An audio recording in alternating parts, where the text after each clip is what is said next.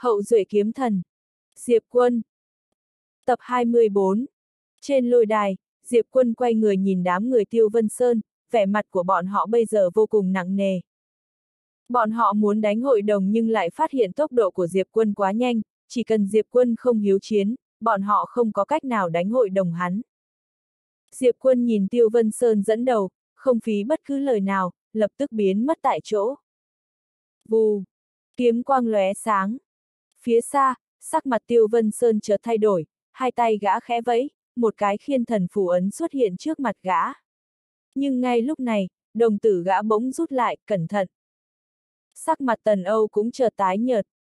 Diệp quân đang dương đông kích tây. Nhát kiếm này của Diệp quân không phải để giết Tiêu Vân Sơn mà là để giết tần Âu gã. Tuy đã có đề phòng từ sớm, nhưng khi nhát kiếm này đâm tới, tần Âu vẫn thấy kinh hãi. Thực lực của Diệp quân quả thật quá khủng bố.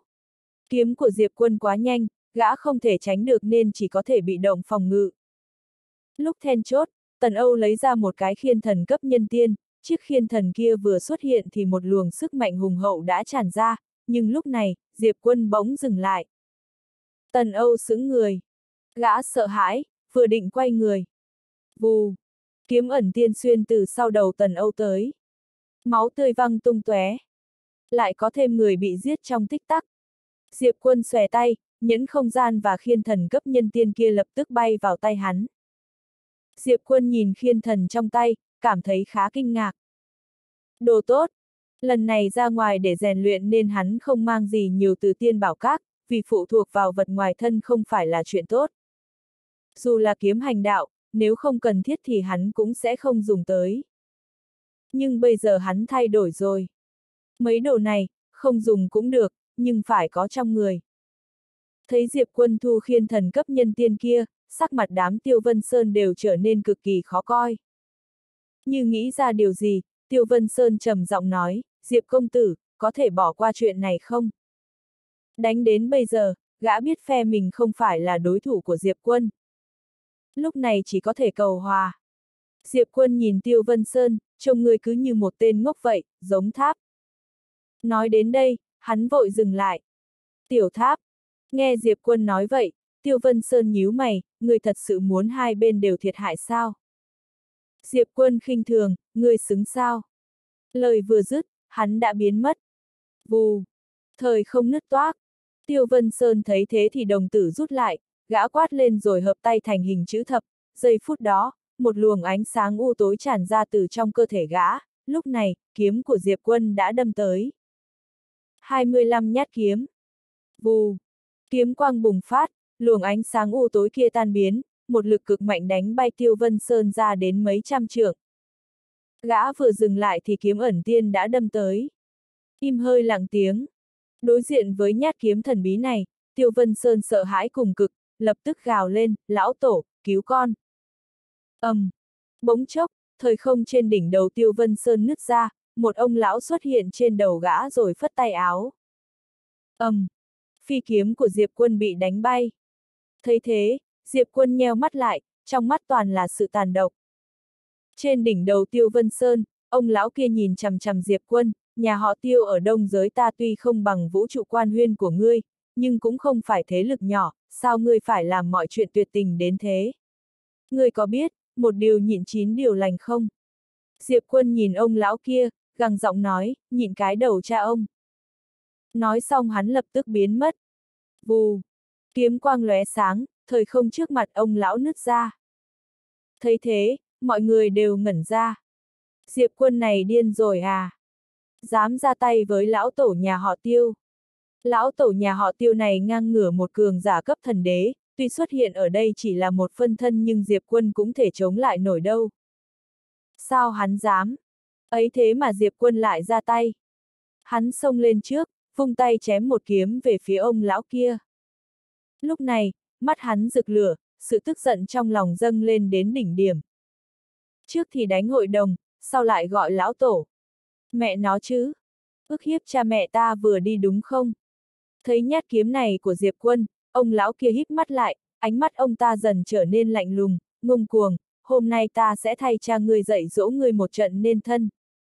Lời vừa dứt, ông ta bỗng bước tới một bước rồi tung quyền ra. Dầm! Quyền này vừa xuất ra, một luồng uy lực mạnh mẽ đã cuốn tới, Diệp quân còn chưa lại gần ông ta đã bị luồng uy lực đó đánh bay ra cả nghìn trượng, sau đó đập mạnh xuống đất khiến mặt đất nứt toác. Nhưng Diệp quân đã ngay lập tức đứng dậy. Hắn lúc này toàn thân đầy máu, cơ thể nứt nẻ nhưng ánh mắt lại tỏa ra ý chí chiến đấu ngùn ngụt. Mà lúc Diệp quân định ra tay một lần nữa thì thời không trước mặt hắn nứt lìa, một người đàn ông bước ra. Tóc trắng, huyền bào. Kiếm chủ nhân gian. Kiếm chủ nhân gian nhìn ông lão kia, nhếch miệng khinh bỉ, dạy dỗ con trai thay ta. Mẹ kiếp, ngươi là cái thá gì? Nói rồi, ông ấy bỗng ngẩng đầu nhìn trời, thiên đạo chỗ này đâu? ầm, um, vừa dứt lời, một luồng khí thức khủng bố đã xuất hiện trên trời, sau đó là tiếng quát giận dữ, kẻ nào dám hô to gọi nhỏ với ta. Chán sống. Kiếm chủ nhân gian trở tay đè xuống. ầm, um, luồng khí thức khủng bố kia vụn vỡ, ông ấy giơ tay ra tóm, thời không nứt ra, một ảo ảnh bị ông ấy bắt ra. Ôi địch! Thiên đạo kia kinh hãi tột độ, kiếm chủ nhân gian. Kiếm chủ nhân gian, ta không biết ngài đại giá Quang Lâm, ta. Ta bằng lòng đầu hàng, gia nhập vũ trụ quan huyên. Diệp quân. Kiếm chủ nhân gian nhìn thiên đạo, đông giới ở đâu, chỉ phương hướng đi. Tiểu tháp. Đông giới ở đâu? Nghe kiếm chủ nhân gian hỏi vậy, thiên đạo vội chỉ tay về phía bên phải. Kiếm chủ nhân gian phất tay áo, một thanh kiếm bay vút lên trời rồi biến mất trên bầu trời. Đông giới. Ngày hôm nay, một thanh kiếm xé màn trời, xuất hiện trên đông giới. ầm, um, cả đông giới bị xóa sổ trong nháy mắt. Hôm nay, vạn giới lại mất đi một thế giới. Như phát hiện ra điều gì, đồng tử ông lão nhà họ tiêu kia co lại, vẻ mặt hoảng sợ ông. Kiếm chủ nhân gian. Ông ta không ngờ kiếm chủ nhân gian lại xuất hiện. Theo ông ta được biết thì sau khi kiếm chủ nhân gian và vũ trụ quan huyên đột phá thì đã tới chân vũ trụ để đấu với chân thần rồi. Theo nhận định của ông ta, kiếm chủ nhân gian khó mà thắng được. Vì đó là chân thần cơ mà. Là sự tồn tại khủng bố thống trị vô số thời đại luân hồi của vũ trụ. Thật ra không chỉ mình ông ta nghĩ vậy, rất nhiều người cũng nghĩ vậy. Kiếm chủ nhân gian có thể đánh thắng được chân thần không? Tỷ lệ chiến thắng rất nhỏ. Đó cũng là lý do vì sao cường giả ở chư thiên vạn giới dám tới giết Diệp quân, nếu kiếm chủ nhân gian vẫn còn ở đây thì bọn họ nào dám tới đây ỉ lớn hiếp nhỏ. Nhưng có nghĩ thế nào ông ta cũng không ngờ được kiếm chủ nhân gian lại xuất hiện ở đây, tuy người tới đây không phải là bản thể, chỉ là một phân thân. Nhưng đã là thiên hạ vô địch rồi. Lão tổ nhà họ tiêu vội khom thật sâu người hành lễ, run giọng nói, kiếm chủ nhân gian, chuyện này là hiểu lầm. Lúc này, ông ta không màng gì nữa cả, mặc kệ tiêu tộc, ông ta chỉ muốn sống thôi. Nhưng ông ta còn chưa dứt lời thì kiếm chủ nhân gian đã phất tay áo. Vù! Một tia kiếm quang xé gió lao tới. Trong một mảng hư không, một ông lão đang ngồi tu luyện bỗng trợn chừng hai mắt, đầu ông ta lập tức bay ra xa mấy vạn trượng. Giết trong nháy mắt. Trên lôi đài, phân thân của lão tổ nhà họ tiêu bỗng trở nên mờ ảo, như phát hiện ra điều gì đó, ông ta sợ hãi nói ông đã giết bản thể của ta. Kiếm chủ nhân gian nhìn lão tổ nhà họ tiêu, nhếch miệng cười, ngại quá, bất cần giết ngươi mất rồi, hiểu lầm thôi. Lão tổ nhà họ tiêu. Bản thể đã chết thì đương nhiên phân thân không thể tiếp tục tồn tại, chẳng mấy chốc, phân thân lão tổ nhà họ tiêu đã tan biến. Thấy thế, Tiêu Vân Sơn ngồi bệt xuống đất. Toi rồi. Gã biết mình tiêu đời rồi. Không chỉ gã tiêu đời mà tiêu tộc cũng tiêu đời rồi. Trên lôi đài, sắc mặt ông lão áo đen của thành chư thiên vạn giới tái mét, nỗi sợ hãi đã dâng lên đến cực độ trong lòng ông ta. Đánh được một lát thì ai ngờ đâu, cha Diệp quân lại xuất hiện. Thế này chẳng phải là ức hiếp người khác à? Giây phút này, ông ta chỉ cầu mong kiếm chủ nhân gian không phát hiện ra mình. Lúc này, Diệp Quân bỗng gọi cha. Kiếm chủ nhân gian chậm rãi quay người nhìn Diệp Quân, Diệp Quân chỉ ông lão áo đen, người của thành chư thiên vạn giới đấy ạ, à. vừa nãy con nói tên cha ra thì ông ta nói cha là cái thá gì. Ông lão áo đen trợn mắt há mồm, sao ngươi lại ăn không nói có thế kia. Tiểu tháp bỗng run giọng nói, toi rồi, thằng nhóc này gọi người tới hình như không có chút áp lực tâm lý nào, lại còn ăn không nói có, đổ dầu vào lửa. Giọng nói bí ẩn, đính chính chút, hắn không có gọi ai cả, cha hắn tự xuất hiện mà. Tiểu tháp. Nghe Diệp Quân nói vậy, kiếm chủ nhân gian quay đầu nhìn ông lão áo đen, ông ta vội cung kính hành lễ, vừa định nói gì đó thì kiếm chủ nhân gian đã lên tiếng, có gì thì đợi kiếp sau nói. Vù. Kiếm chủ nhân gian vừa dứt lời thì đầu ông lão áo đen đã văng ra ngoài. Xiết trong tích tắc, kiếm chủ nhân gian nhìn phủ thành chủ với vẻ mặt vô cảm, lăn ra đây. ầm, um, một luồng khí tức khủng bố phóng lên trời từ trong phủ thành chủ, sau đó, một người đàn ông trung niên xuất hiện trước mặt kiếm chủ nhân gian. Người này chính là Lý Đạo Danh thành chủ của thành chư thiên vạn giới. Lý Đạo Danh vừa xuất hiện đã vội vã khom người thật sâu hành lễ, kiếm chủ nhân gian, chuyện này. Kiếm chủ nhân gian bỗng trở tay phải rồi đè xuống. âm. Um. Lý Đạo Danh tái mặt, ông ta chưa kịp phản kháng thì một luồng kiếm thế mạnh mẽ đã áp lên người ông ta khiến đầu gối nhũn ra, lập tức quỳ xuống đất. Kiếm chủ nhân gian nhìn Lý Đạo Danh, quỳ nói. Sắc mặt Lý Đạo Danh vô cùng khó coi, nhưng không dám phản kháng, đương nhiên, ông ta cũng không có năng lực phản kháng. Kiếm chủ nhân gian bỗng gọi, con trai, lại đây. Diệp quân vội tới bên cạnh kiếm chủ nhân gian, ông ấy khẽ vỗ đầu Diệp quân, rồi nói với Lý Đạo Danh, ta nghe nói trước nay thành chư thiên vạn giới vẫn luôn đứng ở thế trung lập, lần này các ngươi lại dám ỉ lớn hiếp nhỏ với con trai ta, sao nào, xem thường vũ trụ quan huyên ta à? Lý Đạo Danh run giọng, kiếm chủ, đây là một sự. Vù. Một thanh kiếm bỗng đâm vào giữa trán Lý Đạo Danh, ông ta bị đóng đinh tại chỗ trong tích tắc. Kiếm chủ nhân gian nhìn chằm chằm Lý Đạo Danh, ta cho ngươi nói chuyện chưa? Lý Đạo Danh. Kiếm chủ nhân gian nhìn Lý Đạo Danh, tòa thành này là do vô ngã lập ra, lúc đầu ta được cô ấy chiếu cố nên ta sẽ không hủy diệt tòa thành này. Nhưng người, phải chết. Dứt lời, ông ấy phất tay áo. Một tia kiếm quang thâm nhập vào trong phủ thành chủ, một giây sau, mấy vạn cái đầu người bay lên trời, số đầu người này bay lên trời rồi bị treo lơ lửng giữa không trung, xếp hàng ngay ngắn.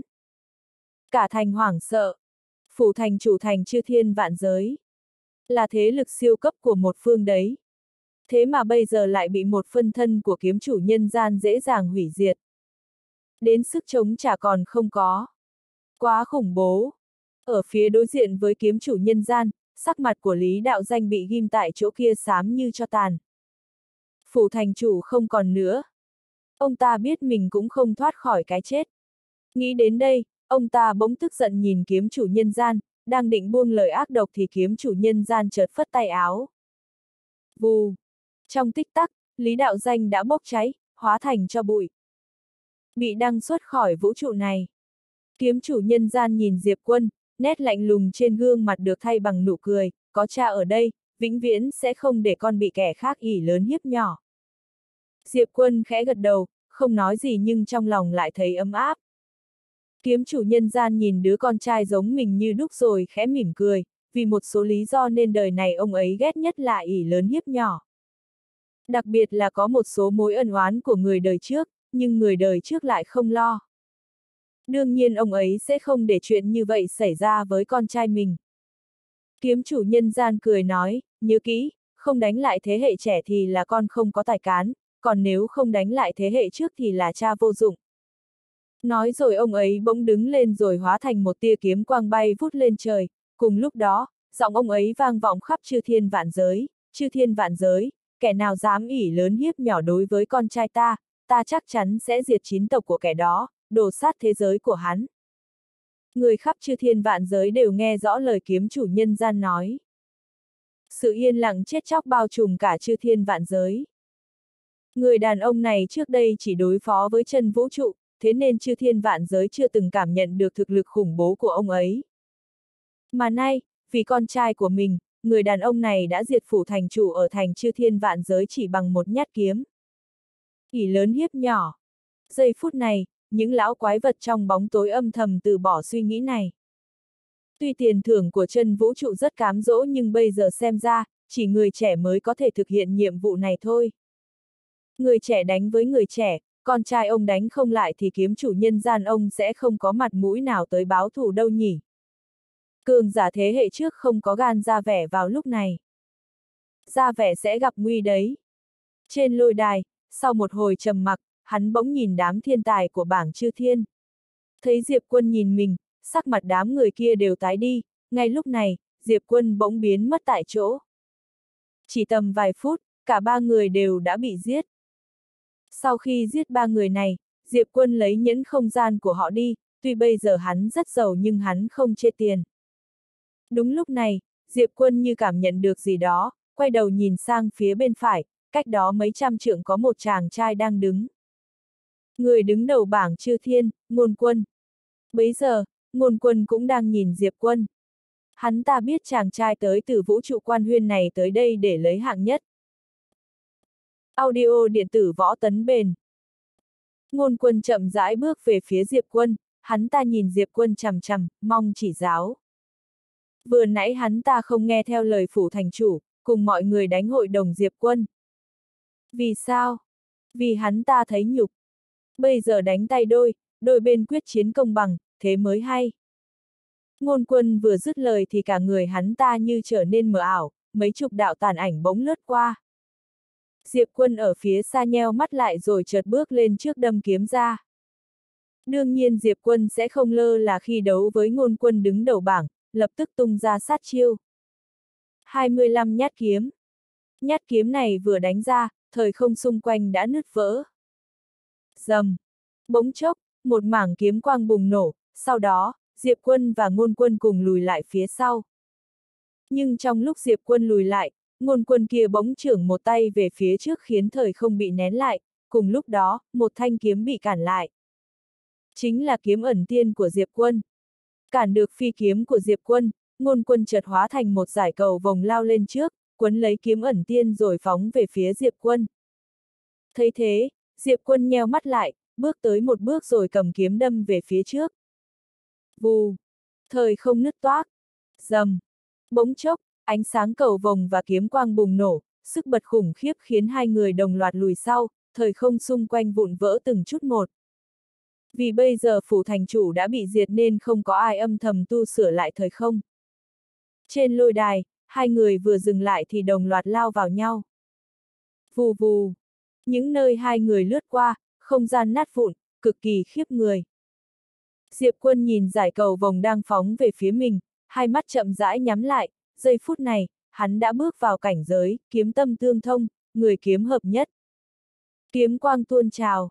ầm, um, tiếng nổ đinh tai nhức óc vang dội, hai người lại đồng loạt lùi sau, nhưng lần này, trong lúc ngôn quân lùi lại, không gian xung quanh hắn ta bỗng nứt ra, mấy thanh phi kiếm bay tới. Ngôn quân híp mắt rồi phất tay áo, một mảng ánh sáng cầu vồng tỏa ra. ầm, um, mấy thanh phi kiếm đều bị cản lại. Nhưng lúc này, thời không trước mặt ngôn quân chợt nứt toác. Vù! Một thanh kiếm đâm tới. Đồng tử ngôn quân rút lại, hai tay khẽ vẫy, một luồng năng lượng thần bí xuất hiện xung quanh. Vực! Nhưng vực này vừa chạm với kiếm của Diệp quân đã vỡ nát. Mà lúc này, ngôn quân đã lùi ra sau trăm trượng rồi. Thế mà, hắn ta còn chưa dừng lại thì một thanh kiếm đã lặng lẽ bay về phía chán hắn ta. Ẩn tiên! Hình như thanh kiếm này đã ở đây đợi hắn ta vậy. Ngôn quân vừa định ra tay thì kiếm ẩn tiên đã kể trước ấn đường của hắn ta. Thua! Diệp quân nhìn ngôn quân rồi giơ tay phải ra, thẻ hạng nhất đâu. Ngôn quân bình tĩnh nói, đoạt được hạng nhất thì phủ thành chủ sẽ cho huynh một thẻ bài mới. Nhưng bây giờ cha huynh đã giết sạch người của phủ thành chủ rồi. Thế nên, hay là huynh tự làm cho mình một tấm đi. Diệp quân, tự mình làm một tấm. Diệp quân thấy hơi đau đầu. Tự làm, nói gì vậy chứ? Diệp quân lắc đầu, phất tay áo, thanh kiếm kê trước ấn đường của ngôn quân lập tức tan biến. Diệp quân thu kiếm xong thì ôm quyền, đã nhường rồi. Nói xong hắn quay người rời đi. Lúc này, ngôn quân bỗng nói, huynh đã giành được hạng nhất, bây giờ có thể tới chân vực rồi.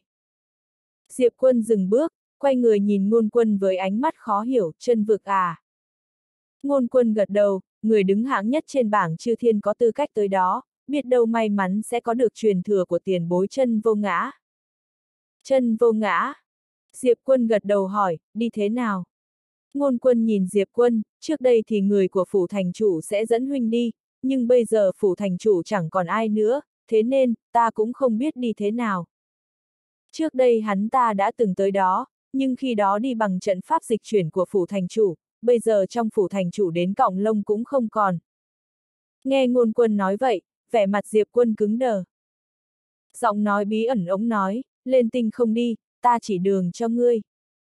Nghe thế, Diệp quân vội gật đầu, được. Nói xong hắn nhìn ngôn quân, hẹn gặp lại. Sau đó hắn ngự kiếm bay lên, biến mất trong tinh không. Ngôn quân đứng đó trầm mặc một hồi lâu rồi thở dài, quay người rời đi. Trong một mảng hư không, một người phụ nữ đang nhìn chăm chú lôi đài bên dưới, người phụ nữ mặc váy trắng, không nhiễm bụi trần, tay chắp sau lưng, hai mắt chìm trong bóng tối, sắc mặt lạnh như băng. Sau lưng người phụ nữ này có một ông lão đang hơi khom người. Người phụ nữ bỗng nói, đại kiếm đế viên mãn, võ thần, bán bộ nhập phàm, tự áp chế cảnh giới, sở trường lâm giới, phi kiếm, lâm giới cực hạn vào khoảng 30 nhát kiếm, nhân tiên không thể đánh lại hắn, có thể đấu với địa tiên, trong cơ thể ẩn chứa ba loại huyết mạch đặc thù, nếu kích hoạt. Tạm thời chưa thể định lượng được uy lực mạnh nhất của hắn như thế nào, nhưng ước chừng có thể giết chết địa tiên, nếu dùng thanh kiếm hắn giấu trong người để đấu với chân tiên thì chắc chắn có thể giết được chân tiên, có thể đấu được với thiên tiên. Nghe đến đây, đồng tử ông lão phía sau lưng người phụ nữ kia rút lại, vẻ mặt khó tin. Có thể giết chân tiên. Diệp quân bây giờ mới chỉ tới cảnh giới tiểu kiếp, dùng thanh kiếm kia có thể giết được chân tiên sao? Đây là kiếm gì vậy? Ông lão chấn động không thôi, nếu thật sự dùng thanh kiếm kia có thể vượt nhiều cảnh giới như vậy để giết chân tiên thì quá là ảo. Gian lận cũng không ảo đến vậy. Người phụ nữ trầm mặc một hồi rồi lại nói, không thể dò xét được thanh kiếm kia, cực kỳ nguy hiểm, dự đoán ban đầu là nó không nằm trong phạm vi cảnh giới chúng ta biết. Trong cơ thể hắn có một trí bảo và một sự tồn tại bí ẩn, đối phương sâu không lường được, đánh giá ban đầu, ít nhất cũng phải ở cấp bậc thần linh vũ trụ. Tổng kết, yêu nghiệt tuyệt thế, tiềm lực vô hạn, thiên tài xếp hạng dưới 20 trên bảng vũ trụ đều không phải là đối thủ của người này. Nói rồi, bà ta dừng lại một lát rồi mới nói tiếp, kẻ này rất nguy hiểm, không thể để hắn trưởng thành. Truyền lệnh của ta, ai giết được kẻ này sẽ được thưởng 100 triệu linh nguyên, trăm vạn chân nguyên tinh, đồng thời có thể vào tu hành trong võ các chân thần 3 năm và được lấy một món bảo vật ở cấp bậc bất kỳ trong bảo các chân thần. Nghe người phụ nữ truyền lệnh, sắc mặt ông lão kia bỗng trở nên nặng nề, lão khom người thật sâu hành lễ, cần tôn mệnh lệnh của tả tướng. Tả tướng của chân thần điện, phong kỳ. Trưởng quản nghìn vạn thế giới của chân vũ trụ, chân thần không có mặt thì bà ta quyết định mọi chuyện. Ông lão do dự rồi hỏi, có thể đánh hội đồng không? Người phụ nữ nhíu mày, chân vũ trụ ta hèn vậy à? Ông lão cuống quyết quỳ xuống, thuộc hạ không có ý đó. Người phụ nữ chậm rãi ngẩng đầu lên nhìn tinh không vời vợi, chân vũ trụ ta tôn trọng kẻ mạnh. Truyền lệnh xuống, từ hôm nay, thế hệ trẻ của chân vũ trụ ta sẽ tuyên chiến với thế hệ trẻ của vũ trụ quan huyên. Cường giả của thế hệ trước không được nhúng tay vào, ai trái lên lập tức giết. Lần này, thế hệ trẻ của chúng ta đánh với thế hệ trẻ của vũ trụ quan huyên. Nói rồi, bà ta quay người nhìn phía xa, vũ trụ quan huyên cho ra thế hệ thiên tài nào, chúng ta giết thế hệ ấy, giết đến khi thế hệ trẻ của vũ trụ quan huyên tuyệt chủng. Trong tinh không, Diệp quân ngự kiếm bay đi. Hắn đứng trên kiếm, hai mắt khép hờ. Lúc này, tháp gia bỗng nói, sao trong trận chiến giữa ngươi và ngôn quân, ngươi không dùng kiếm ý vô địch. Từ lúc bắt đầu cho đến khi kết thúc, Diệp quân chỉ dùng phi kiếm và lâm giới, không dùng tới kiếm ý. Nếu hắn dùng thêm kiếm ý thì chắc chắn uy lực sẽ tăng lên gấp bội. Diệp quân nhẹ giọng trả lời câu hỏi của tháp gia, phải giữ lại con át chủ bài mới được. Tiểu tháp im lặng. Nó phát hiện, dù bây giờ đã nhận tổ quy tông, thằng nhóc này vẫn không cảm thấy an toàn. Đương nhiên, điều này cũng bình thường. Vì bây giờ thằng nhóc này đang phải đối đầu với chân vũ trụ mà. Thật ra, tiểu tháp nó cũng có cảm thấy an toàn đâu cơ chứ. Tam kiếm nội chiến. 2. Tiểu tháp thầm thở dài, xem ra mình cũng phải chăm chỉ tu luyện mới được. Có lẽ không phải là ngày lành. Diệp quân xòe bàn tay, một tia kiếm ý phóng ra từ lòng bàn tay hắn rồi ngưng kết lại thành một thanh kiếm. Kiếm ý vô địch. Kiếm ý này rất mạnh, không hề thua kiếm ẩn tiên. Nếu vừa nãy đánh với ngôn quân mà hắn dùng thêm kiếm ý vô địch này thì ngôn quân kia không thể nào đỡ được nhát kiếm của hắn. Như nghĩ tới điều gì, Diệp quân bỗng hỏi, tiền bối, bây giờ ta mới 18 tuổi nhưng đã là đại kiếm đế đại viên mãn, tốc độ phát triển của ta có nhanh quá không? Giọng nói bí ẩn im lặng một lát rồi đáp, không. Diệp quân hỏi, vì sao? Giọng nói bí ẩn, ta đã gặp người yêu nghiệt hơn cả ngươi. Diệp quân đơ người ra. Giọng nói bí ẩn lại nói, ta biết ngươi đang lo lắng điều gì, ngươi lo mình đi quá nhanh, căn cơ không vững chắc. Nhưng ta có thể nói cho ngươi biết, ngươi không cần phải lo điều này, thiên phú của ngươi được xem là đỉnh cấp trong toàn vũ trụ, nhưng không phải là cao nhất. Nếu so với tất cả yêu nghiệt trong lịch sử của cả vũ trụ thì ngươi chỉ được xếp vào tầm trung. Tầm trung. Diệp quân nhíu mày. Giọng nói bí ẩn, ta từng gặp một vị yêu nghiệt tuyệt thế, chưa đến 20 đã trở thành thần đế. Chưa tới 20 đã là thần đế. Sắc mặt Diệp quân bỗng trở nên nghiêm trọng. Giọng nói bí ẩn tiếp tục nói, người biết vị chấp kiếm nhân kia chứ? Phiên phú của bà ta còn yêu nghiệt hơn nữa, lúc chưa đến 18 đã được phong là đại đế rồi, là đại đế, không phải thần đế đâu, kiểu như đại đế bất khuất vậy. Đại đế là sự tồn tại sánh ngang thần linh vũ trụ, thậm chí còn có thể giết cả thần linh vũ trụ.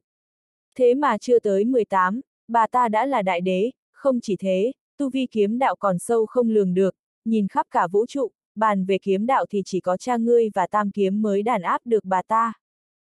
Chấp kiếm nhân. Diệp quân trầm mặc, đến bây giờ hắn còn nhớ rõ nhát kiếm hôm đó của đối phương. Một nhát kiếm vô địch. Tiểu tháp bỗng nói, thiên phú kiếm đạo của mộ thiên đạo. Giọng nói bí ẩn, thiên phú kiếm đạo của mộ thiên đạo rất mạnh, bà ấy không cùng thời đại với chấp kiếm nhân, cho bà ấy thời gian, đương nhiên bà ấy sẽ có thể đạt đến trình độ của chấp kiếm nhân.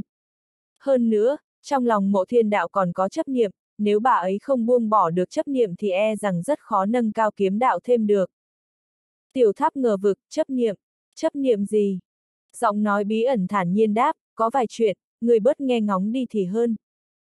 Tiểu tháp, giọng nói bí ẩn lại nói, còn một điều nữa, người phải nhớ kỹ, thiên phú chỉ có thể giúp người đi nhanh hơn ở giai đoạn đầu, con đường võ đạo càng về sau càng khó khăn.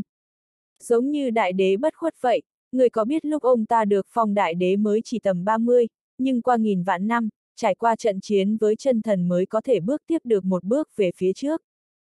Bà ấy dừng lại một lát rồi mới nói tiếp, cha của ngươi cũng vậy, thiên phú của ông ấy cũng rất phi phàm, nhưng ông ấy cũng mất rất nhiều thời gian để bước qua bước cuối cùng. Trên con đường tu đạo, càng về sau càng gian truân, nhiều người có thể dễ dàng bước qua giai đoạn đầu, nhưng khi đến đỉnh cao, một trở ngại có thể kéo dài hàng nghìn vạn năm với họ. Rõ ràng nhất là chấp kiếm nhân, bà ta đã bị kẹt ở trạng thái hiện tại trong hàng nghìn vạn năm. Sau một hồi im lặng, Diệp Quân khẽ gật đầu, ta biết rồi. Ta sẽ đi vững từng bước một, còn về tương lai thì để tương lai tính, điều bây giờ ta nên làm chính là thận trọng trong từng bước đi. Giọng nói bí ẩn cười nói, đúng vậy. Phải công nhận, bà ấy thật sự hơi bị thích thằng nhóc này, khả năng lĩnh ngộ tuyệt vời, học một hiểu mười. Diệp quân hít sâu vào một hơi, khẽ cười, đầu óc nghĩ thông thì toàn thân khoan thai thoải mái. Cảm giác này tốt thật. Giọng nói bí ẩn bỗng nói, mỗi thời đại đều có một hoặc một vài người làm kinh hãi thế tục, nhưng trong lịch sử vũ trụ quan huyên, theo ta được biết, cũng chỉ có vài người mãi mãi đứng ở đỉnh cao trong toàn vũ trụ. Diệp quân tò mò, những ai ạ? À? Giọng nói bí ẩn, mấy người ngươi biết thì ta không nhắc đến nữa. Ta sẽ nói đến vài người mà ngươi không biết, ví như chủ nhân bút đại đạo, một thầy giáo thích dạy học của thần đạo, tộc trưởng tộc Bắc Thiên năm xưa, đại đế bản vũ đầu tiên của tộc bản vũ. Những người này năm xưa đều là những thiên tài tuyệt thế. Vị nào cũng đều vô địch thời đại của họ, là sự tồn tại khiến những thiên tài cùng thời đại thấy tuyệt vọng. Diệp quân bỗng tò mò, còn tiền bối thì sao ạ? À?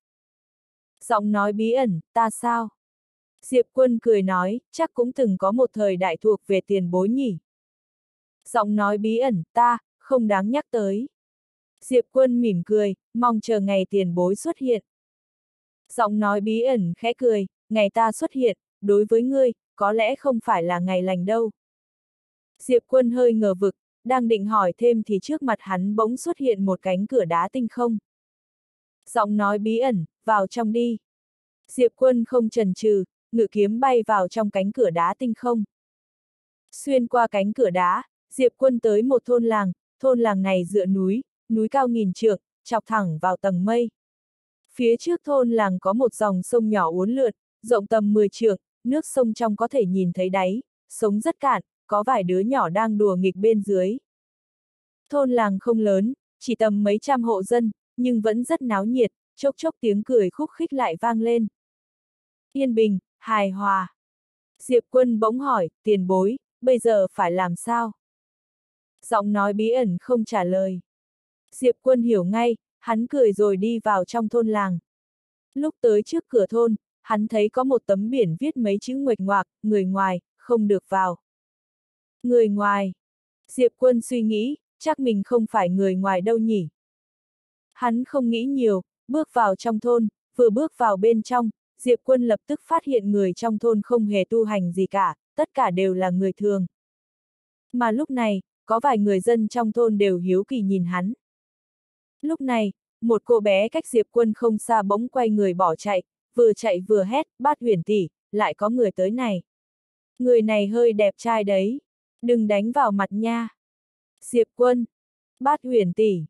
Diệp Quân hơi ngờ ngợ, ai vậy?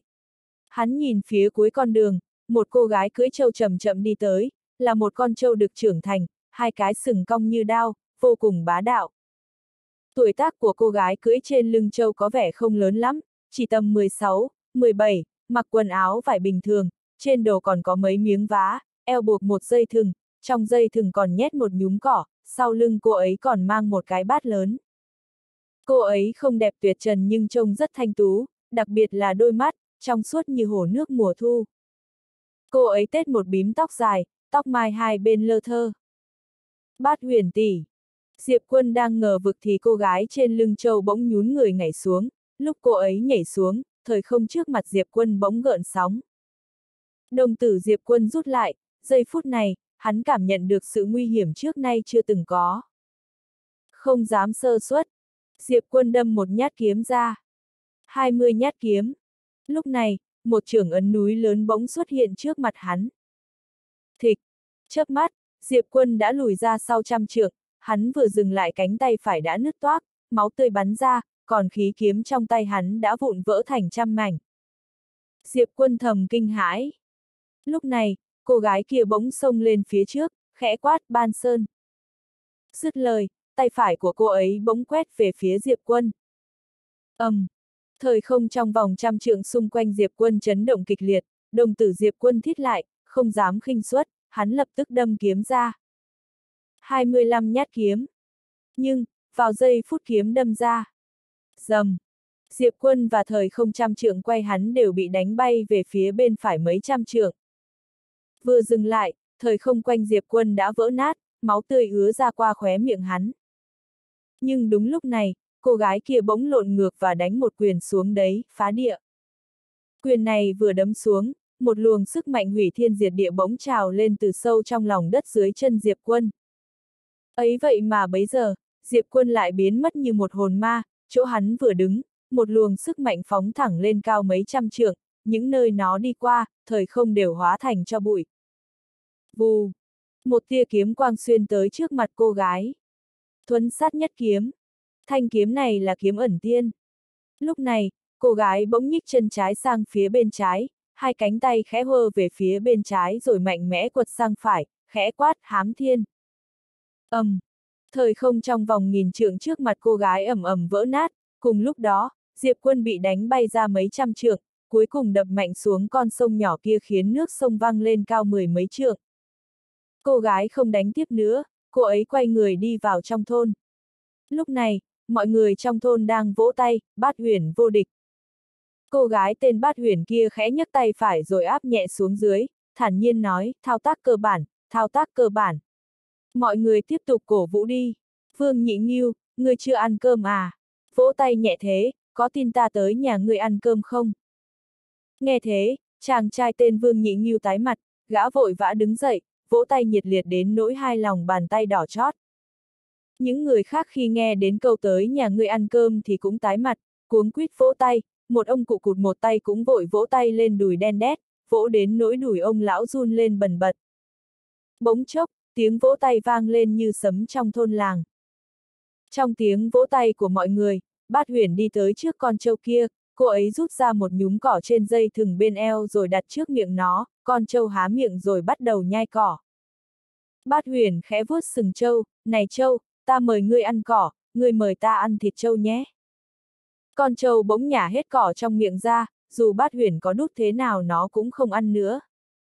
Bát huyền nhếch miệng, đồ hẹp hòi, ta mời ngươi ăn nhiều cỏ vậy, đổi lấy tí thịt trâu ngươi cũng không cho. Con trâu. Bát huyền dẫn con trâu đi về phía xa trong ánh nhìn của mọi người. Thấy bát huyền đi càng lúc càng xa, mọi người mới thở phào nhẹ nhõm.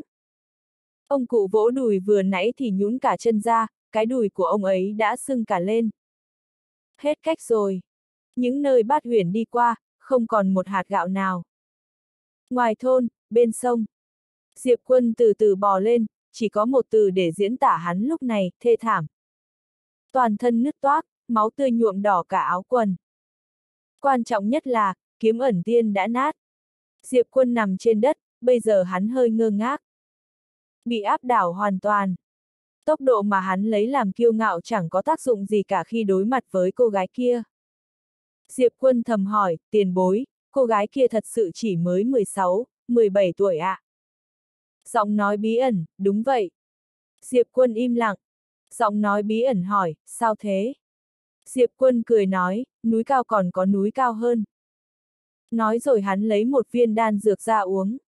Một lát sau, thương tích của Diệp quân đã khôi phục hòm hòm, hắn đứng dậy rồi lại tiếp tục tới trước thôn. Có một ông cụ đang ngồi trước cổng thôn không xa, ông ta chống gậy, trông có vẻ đi đứng không tiện. Ông cụ nhìn Diệp quân, tới tìm bát huyền à. Diệp quân gật đầu, vâng. Ông cụ quan sát Diệp quân rồi nói, ta nói cho cậu biết, bát huyền sẽ không thích công tử bột như cậu đâu, con bé thích người mạnh mẽ như nhị nghiêu nhà ta, có sức làm việc. Một ngày nhị nghiêu nhà ta cày được đến 10 mẫu ruộng, cậu làm được không? Diệp quân nhìn ông cụ, không trả lời mà tiếp tục đi về phía trước. Thấy Diệp quân không trả lời mình, ông cụ nhíu mày hỏi, cậu bị điếc à? Diệp quân nhìn chân của ông cụ rồi hỏi, có phải chân ông bị người khác đánh quẻ không? Ông cụ nghe vậy thì như bị sát muối lên vết thương, chợt nổi cơn thịnh nộ, chống gậy đứng bật lên. Diệp quân bỗng sẹo người, đi cả nhắc, ôi chao, què rồi. Què mất rồi. Ông cụ. Diệp quân đi vào trong thôn, lúc người dân trong thôn nhìn thấy Diệp quân cũng chẳng tỏ vẻ sợ hãi mà còn hiếu kỳ quan sát hắn. Mấy người phụ nữ vừa cười vừa nói gì đó, Diệp quân nghe cũng không hiểu mấy, gì mà công phu, tư thế, bền, chắc to lắm. Hắn nghe cũng chẳng hiểu gì, thầm nghĩ mấy người nghe hiểu ngôn ngữ này chắc phải lợi hại lắm. Chẳng mấy chốc Diệp Quân đã tới trước một căn nhà tranh, trước nhà có một con trâu già, chính là con trâu vừa nãy bát huyền cưỡi.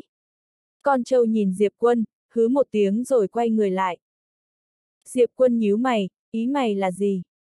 Lúc này, trong nhà có tiếng động, Diệp Quân nhìn vào trong, thấy một cô gái đang thổi lửa trước bếp lò. Chính là bát huyền. Như phát hiện ra điều gì đó bát huyền quay đầu nhìn Diệp Quân, lúc nhìn thấy hắn, cô ấy bỗng nhíu mày. Lúc nhìn thấy mặt của bát huyền, Diệp Quân cũng hơi ngẩn ra. Mặt cô ấy dính đầy nhọ nồi. Bát huyền nhìn Diệp Quân, hai tay siết lại, Diệp Quân vội nói, cô nương, đợi đã. Bát huyền nhìn Diệp Quân, người còn dám tới đây à? Diệp Quân do dự một lát rồi hỏi, ta có thể vào trong không? Bát huyền không trả lời mà quay người tiếp tục nhóm lửa. Diệp Quân trần trừ rồi bước vào trong căn nhà tranh, nhà không lớn, chỉ có ba cái bếp, ba cái nồi lớn và một cái ghế gỗ. Diệp Quân đi tới bên cạnh bát huyền, hắn nhìn cô gái trước mặt rồi nói, cô nương, ta tới đây không có ác ý nào cả. Bát huyền nhìn Diệp Quân, hỏi có gạo không? Gạo. Diệp Quân sững người. Bát huyền nhíu mày, vẻ mặt của ngươi vậy là sao? Ngươi không ăn cơm hả? Diệp Quân trầm mặc một lát rồi nói, không có gạo, nhưng có thịt rồng, được không? Bát huyền ngờ vực, thịt rồng là gì? Diệp Quân nhìn bát huyền, cô chưa từng nhìn thấy rồng à? Bát huyền lắc đầu, chưa. Ngon không? Diệp Quân ngồi xuống trước mặt cô ấy rồi hỏi, ăn thử không? Bát huyền vội vã gật đầu, được được. Diệp Quân lấy ra hai miếng thịt rồng, thấy hai miếng thịt rồng, mắt bát huyền sáng hẳn lên. Diệp Quân mỉm cười rồi bắt đầu nổi lửa nướng thịt rồng. Bát huyền ngồi trước bếp lửa, chốc chốc lại nhìn miếng thịt rồng đầy thèm thuồng, suýt chảy nước miếng. Diệp Quân nhìn bát huyền, hỏi cô nương, bao lâu rồi cô chưa được ăn cơm? Bát huyền suy nghĩ rồi đáp, lâu lắm rồi, bọn họ đều không chịu cho ta mượn gạo. Diệp quân do dự rồi nói, cô chưa từng ra ngoài à? Bát huyền, thế giới bên ngoài hả? Diệp quân gật đầu. Bát huyền, chưa. Diệp quân ngờ vực, thế cô tu luyện bằng cách nào? Bát huyền nhìn Diệp quân, tu luyện hả? Diệp quân gật đầu, ừ. Bát huyền, ý ngươi nói là đánh nhau à? Diệp quân nhìn bát huyền rồi gật đầu, đúng vậy. Bát huyền nhíu mày, vẻ mặt mờ mịt, đánh nhau mà cũng cần phải tu luyện hả? Chẳng phải muốn đánh thế nào thì cứ đánh thế ấy thôi sao? Diệp quân im lặng, trông cô nương này không giống đang nói dối. Không tu luyện. Trời sinh đã biết đánh nhau à? Đương nhiên Diệp quân không tin lắm. Bát huyền bỗng hỏi, người còn thịt rồng này không? Diệp quân gật đầu, còn. Bát huyền chớp mắt, có thể cho ta mượn một ít không? Diệp quân cười nói, có thể. Nói rồi, hắn lấy ra hai miếng thịt rồng đưa cho bát huyền. Thịt của tộc chân long này, hắn ăn cả đời cũng không hết. Bát huyền ôm thịt rồng chạy ra ngoài. Diệp quân khó hiểu. Chẳng mấy chốc, bát huyền đã xách một cái thùng gỗ nhỏ vào, trong thùng gỗ chứa đầy gạo. Bát huyền nhếch miệng cười, ăn thịt mà không có cơm sao được. Nói rồi cô ấy đổ hết gạo vào nồi và nấu thành cơm. Một hồi sau, thịt rồng đã nướng xong, cơm cũng chín. Bát huyền lấy cái bát còn to hơn cả cái đầu ở phía sau lưng ra rồi sới cho mình một bát cơm đầy, nhưng nghĩ ra điều gì đó, cô ấy bỗng nhìn Diệp Quân, hỏi với vẻ đề phòng, ngươi có ăn cơm không? Diệp Quân ngập ngừng hỏi, ta được ăn không? Bát huyền gật đầu, ngươi không ăn thì ta ăn một mình nhé. Nói rồi, cô ấy lấy ra một cái thìa gỗ thật to, bắt đầu ăn hùng hục. Cô ấy ăn hai thìa cơm không rồi xé miếng thịt rồng ăn kèm. Diệp quân nhìn cô gái ăn cơm hùng hục trước mặt thì lòng hơi mờ mịt. Lúc này, bát huyền đã ăn hết bát cơm, nhưng cô ấy không dừng lại mà sới cho mình bát thứ hai. Cứ như vậy, một mình cô ấy ăn hết cả một nồi cơm trong sự ngỡ ngàng của Diệp quân. Một lần ăn hết cả nồi cơm to. Diệp quân hơi ngơ ngác. Ăn cơm xong, bát huyền dựa ngửa ra chiếc ghế gỗ bên cạnh, ở một cái rồi nhìn Diệp quân, ăn của người thì phải giúp người, người cần ta làm gì, nói đi. Diệp quân nhìn bát huyền, ta muốn cọ sát với cô thêm lần nữa. Bát huyền hỏi, cọ sát, là đánh nhau đúng không? Diệp quân gật đầu, ừ. Bát huyền gật đầu, được. Diệp quân mỉm cười, hắn đứng lên định ra ngoài nhưng bát huyền đã cầm cây gậy mồi lửa bên cạnh đánh về phía đầu Diệp quân. Tốc độ cực nhanh, nhanh đến độ Diệp quân còn chưa kịp phản ứng đã bị gậy mồi lửa đánh lên đầu. Vù! Diệp quân bị đánh bay ra ngoài. Diệp quân! Diệp quân nằm bò trên đường. Lúc này, đầu hắn nặng như trì. Trước nhà tranh, bát huyền cầm gậy mồi lửa nhìn chằm chằm Diệp quân, nói đúng hơn là nhìn đầu của hắn, chắc đang định tiếp tục đánh thêm gậy nữa. Nhưng nghĩ lại, vừa nãy mới ăn một bữa cơm của người ta, không được quá đáng, thế nên cô ấy từ bỏ ý định thừa thắng xông lên. Bấy giờ, Diệp Quân từ từ đứng dậy, hắn lắc đầu thật mạnh, cơn choáng váng dần dần tan biến. Diệp Quân quay đầu nhìn bát huyền đứng trước nhà tranh, ngờ vực hỏi, bát huyền cô nương, sao cô lại tập kích ta? Bát huyền nhìn chằm chằm Diệp Quân, ngờ vực hỏi, tập kích là gì? Diệp Quân trầm giọng nói, chính là đánh lén. Bát huyền nhíu mày, là ngươi nói muốn cọ sát mà. Diệp Quân gật đầu, đúng là ta nói muốn cọ sát, nhưng chúng ta phải ra khỏi nhà tranh, tìm một nơi rộng rãi để cọ sát chứ. Sao cô lại đột ngột đánh lén như vậy chứ?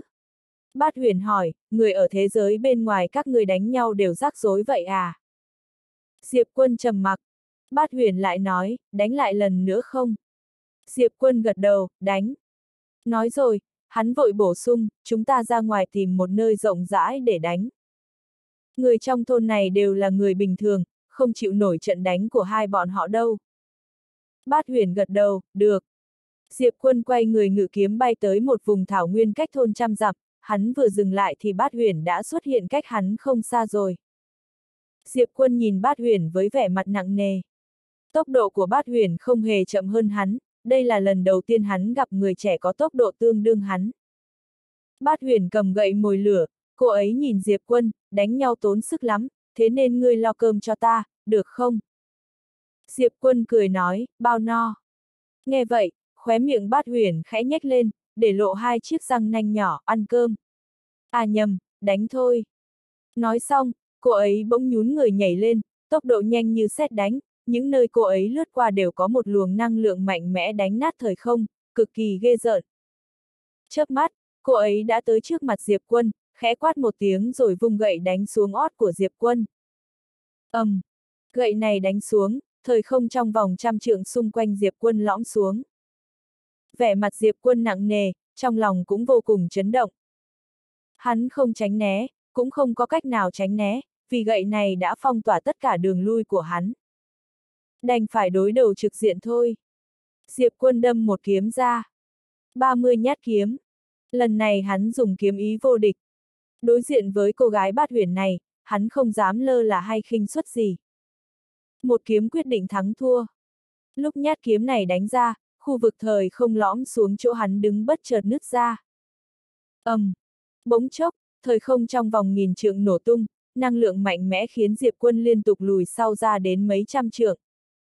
Bát huyền cũng lùi sau gần trăm trượng, cô ấy dừng lại rồi nhìn gậy mồi lửa trong tay mình, một làn gió thổi qua, gậy mồi lửa chợt hóa thành cho bụi.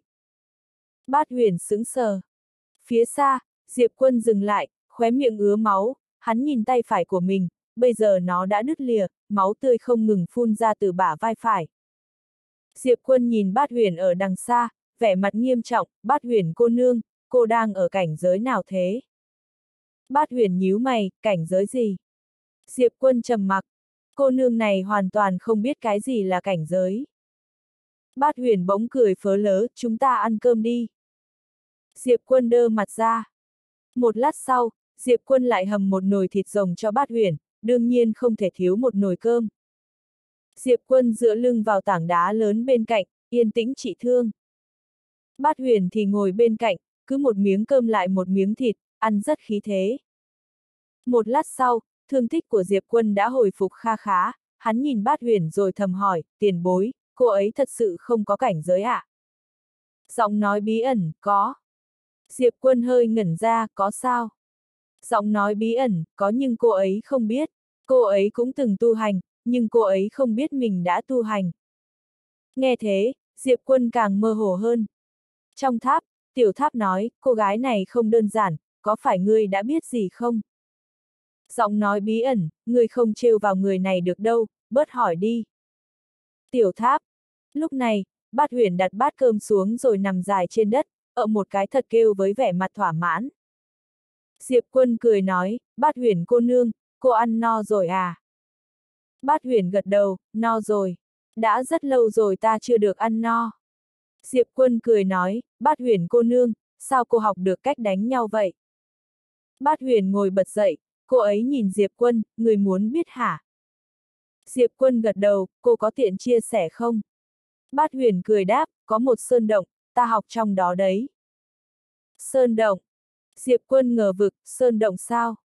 Bát huyền gật đầu, hay là ta dẫn người tới đó nhé? Diệp quân nhìn bát huyền, thấy vẻ mặt chân thật của cô ấy liền đáp, được. Bát huyền cười, đi thôi. Nói xong cô ấy đứng dậy, quay người đi về phía xa. Diệp quân đi theo. Chỉ chốc lát sau, bát huyền đã dẫn Diệp quân tới trước một sơn động. Hai người cất bước vào trong, vách đá xung quanh sơn động tỏa ra tia sáng mờ ảo, thế nên trong động không hề tối. Bát huyền dẫn Diệp quân tới trước một vách đá, trên vách đá đó có đặt một quyển sách cổ đã ố vàng. Bát huyền nhặt quyển sách cổ lên đưa cho Diệp quân, ta học từ trong này. Diệp quân nhận quyển sách cổ, hắn mở ra xem, trang đầu tiên có bốn chữ lớn, bất bại quyền kinh. Bất bại quyền kinh. Diệp quân lật từng trang, một lát sau, sắc mặt hắn trở nên cực kỳ nghiêm trọng. Không biết quyền bất bại quyền kinh này ở cấp bậc nào, tổng cộng có 6 thức, lần lượt là, ban sơn, phá địa, hám thiên, trích tinh, cầm nguyệt, táng thần. Diệp quân không tiếp tục xem nữa, hắn nhìn bát huyền, cô học hết rồi à? Bát huyền gật đầu, đúng vậy. Diệp quân im lặng. Rõ ràng lúc giao đấu, cô gái này đã nương tay với hắn. Nghĩ tới đây, Diệp quân lắc đầu cười. Trước đây, hắn luôn cảm thấy mình quá sức yêu nghiệt, do năng lực tăng quá nhanh nên hắn cảm thấy mình phi thường. Nhưng bây giờ xem ra, tầm nhìn của mình còn hạn hẹp quá. Đúng như tiền bối bí ẩn nói, thiên tài yêu nghiệt của vũ trụ này nhiều bao nhiêu kể xiết. Núi cao còn có núi cao hơn. Diệp quân cười rồi nhìn bát huyền, bát huyền cô nương, vật này cực kỳ chân quý, sao cô không mang nó đi? Bát huyền bình tĩnh nói, mang đi làm gì? Có ăn được đâu. Diệp quân trầm mặc.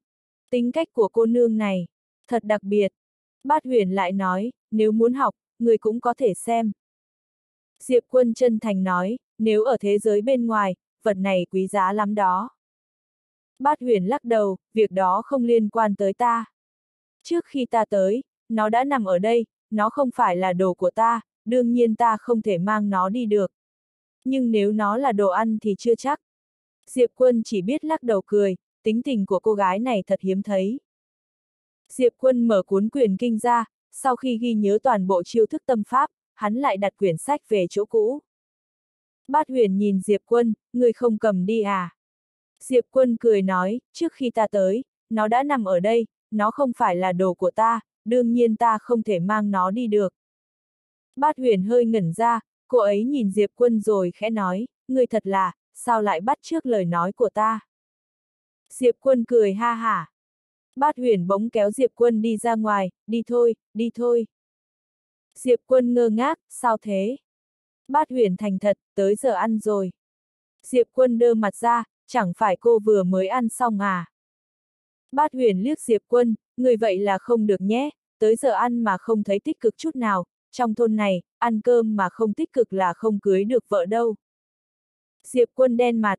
Đúng vào lúc hai người chuẩn bị rời đi, Diệp quân chợt quay đầu nhìn, thấy trên vách động đã xuất hiện một phù ấn đỏ như lửa từ lúc nào không hay, phù ấn hơi lập lòe rồi dần dần mờ đi.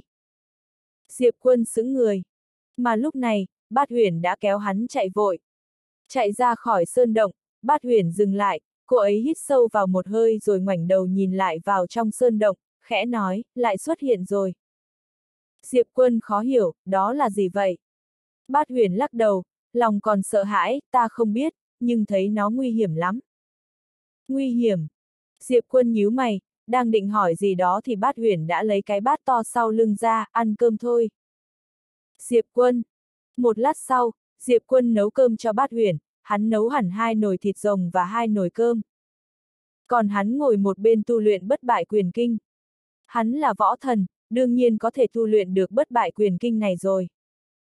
Vừa mới tu luyện, hắn thấy cũng dễ, chưa đến ba ngày hắn đã luyện thành ban sơn, phá địa. Nhưng tu luyện đến hám thiên thì lại gặp khó khăn. Tu luyện gặp phải chỗ khó hiểu, hắn liền tới trước mặt bát huyền đang ngồi bên cạnh, khiêm tốn thỉnh giáo, bát huyền cô nương, trong tâm pháp quyền kinh có nói khi thi triển chiêu hám thiên này, lúc vung tay cần phải tâm thần ý niệm hợp nhất, nhưng mỗi lần ta vung tay đều cảm thấy hơi kiệt sức, không thể nào phát huy được uy lực thật sự, vì sao vậy? Bát huyền cắn một miếng thịt rồng rồi nói, ta không biết. Diệp quân thần người ra. Bát huyền nhìn Diệp quân, khó học lắm à? Diệp quân ngập ngừng hỏi, lúc đầu cô học bất bại quyền kinh này tốn bao nhiêu thời gian? Bát huyền xúc một thìa cơm lớn rồi nói, bằng thời gian một bữa ăn thôi. Diệp quân trầm mặc. Hắn thật sự đã bị đả kích. Bằng thời gian một bữa ăn. Diệp quân bỗng thấy mình giống một kẻ vô dụng. Mất ba ngày mới học được đến chiêu thức thứ ba. Diệp quân lắc đầu cười, hắn đi sang một bên, tiếp tục tu luyện. Lúc này, giọng nói bí ẩn bỗng nói, vào cảnh giới, kiếm tâm tương thông, người kiếm hợp nhất, bình tĩnh tập trung, đừng có tạp niệm gì cả. Nghe lời khuyên, Diệp quân vội gật đầu, hắn chậm rãi nhắm mắt lại, rất lâu sau, hắn cứ như một vị tăng sư đã nhập định. Bấy giờ, lòng hắn không chút tạp niệm nào, tâm yên tĩnh, tinh thần thấu suốt. Một lát sau, tâm pháp quyền kinh vận chuyển trong cơ thể hắn, chớp mắt, một luồng năng lượng mạnh mẽ đã hội tụ trên cánh tay hắn. Diệp quân mở bừng mắt, hai tay vung lên. ầm, um, Thời không trong vòng nghìn trượng vụn vỡ. Diệp quân hít sâu vào một hơi, nụ cười hiện lên trên gương mặt điển trai. Thành công rồi. Diệp quân nhìn hai cánh tay của mình, xem ra trước đây mình đã hấp tấp quá rồi. Nóng lòng muốn đạt được sẽ khiến tâm thái thấp thỏm, cuối cùng không đạt được gì. Nghĩ vậy, Diệp quân không khỏi nhìn bát huyền đang ngồi ăn bên cạnh. Cô nương này tu hành nhanh như vậy, ngoài thiên phú trời sinh, có lẽ còn một nguyên nhân nữa, chính là đầu óc cô ấy đơn giản, không suy nghĩ gì ngoài việc ăn cơm. Diệp quân vốn định tiếp tục tu luyện, nhưng hắn lại phát hiện mình không thể tu luyện chiêu thức trích tinh. Cảnh giới không đủ. Chiêu võ càng mạnh càng cần nhiều huyền khí, chiêu thức trích tinh này, dùng tay không để hái sao, uy lực vô tận, cảnh giới của hắn bây giờ không thể nào tu luyện được. Cảnh giới thấp chính là nhược điểm lớn nhất của hắn bây giờ. Trước đây, cảnh giới thấp, hắn không thấy áp lực gì, hạng tôm tép như lục thiên hoàn toàn không đủ để kích phát tất cả thực lực của hắn.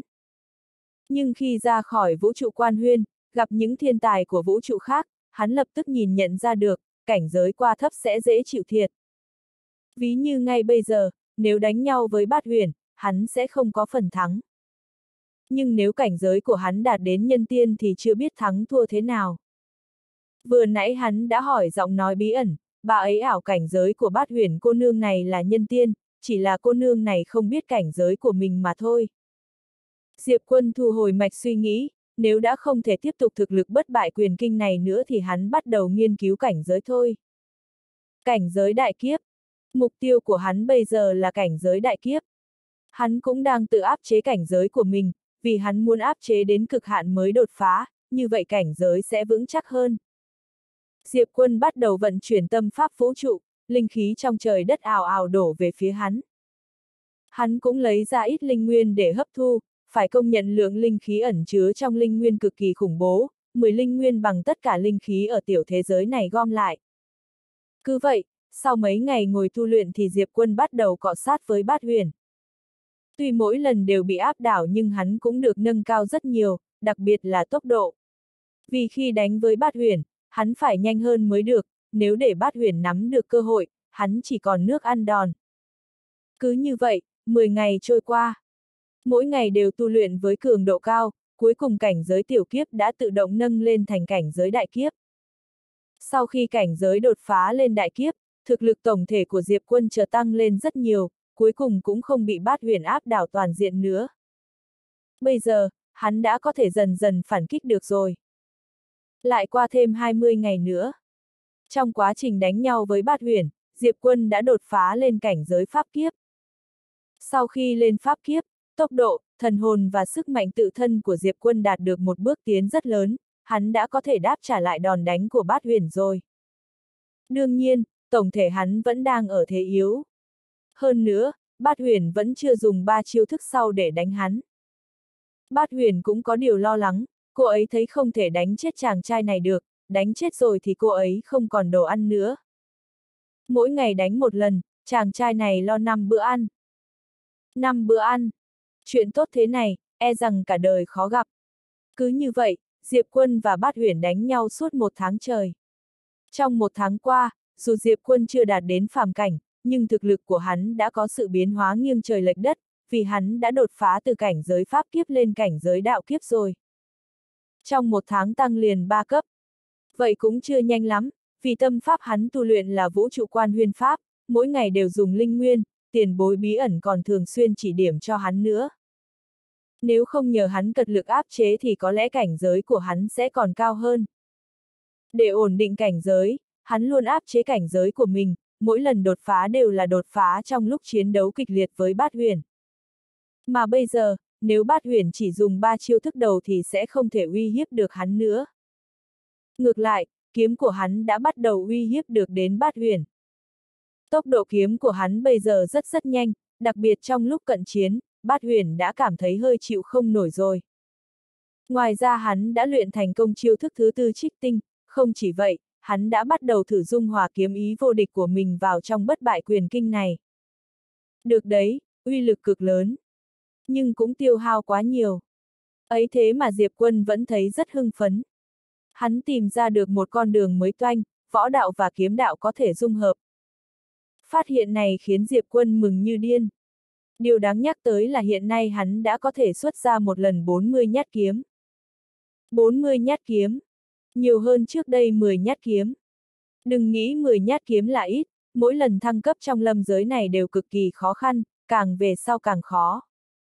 Như bây giờ, hắn muốn đạt đến 41 nhát kiếm thì phải đột phá thêm một cảnh giới mới làm được.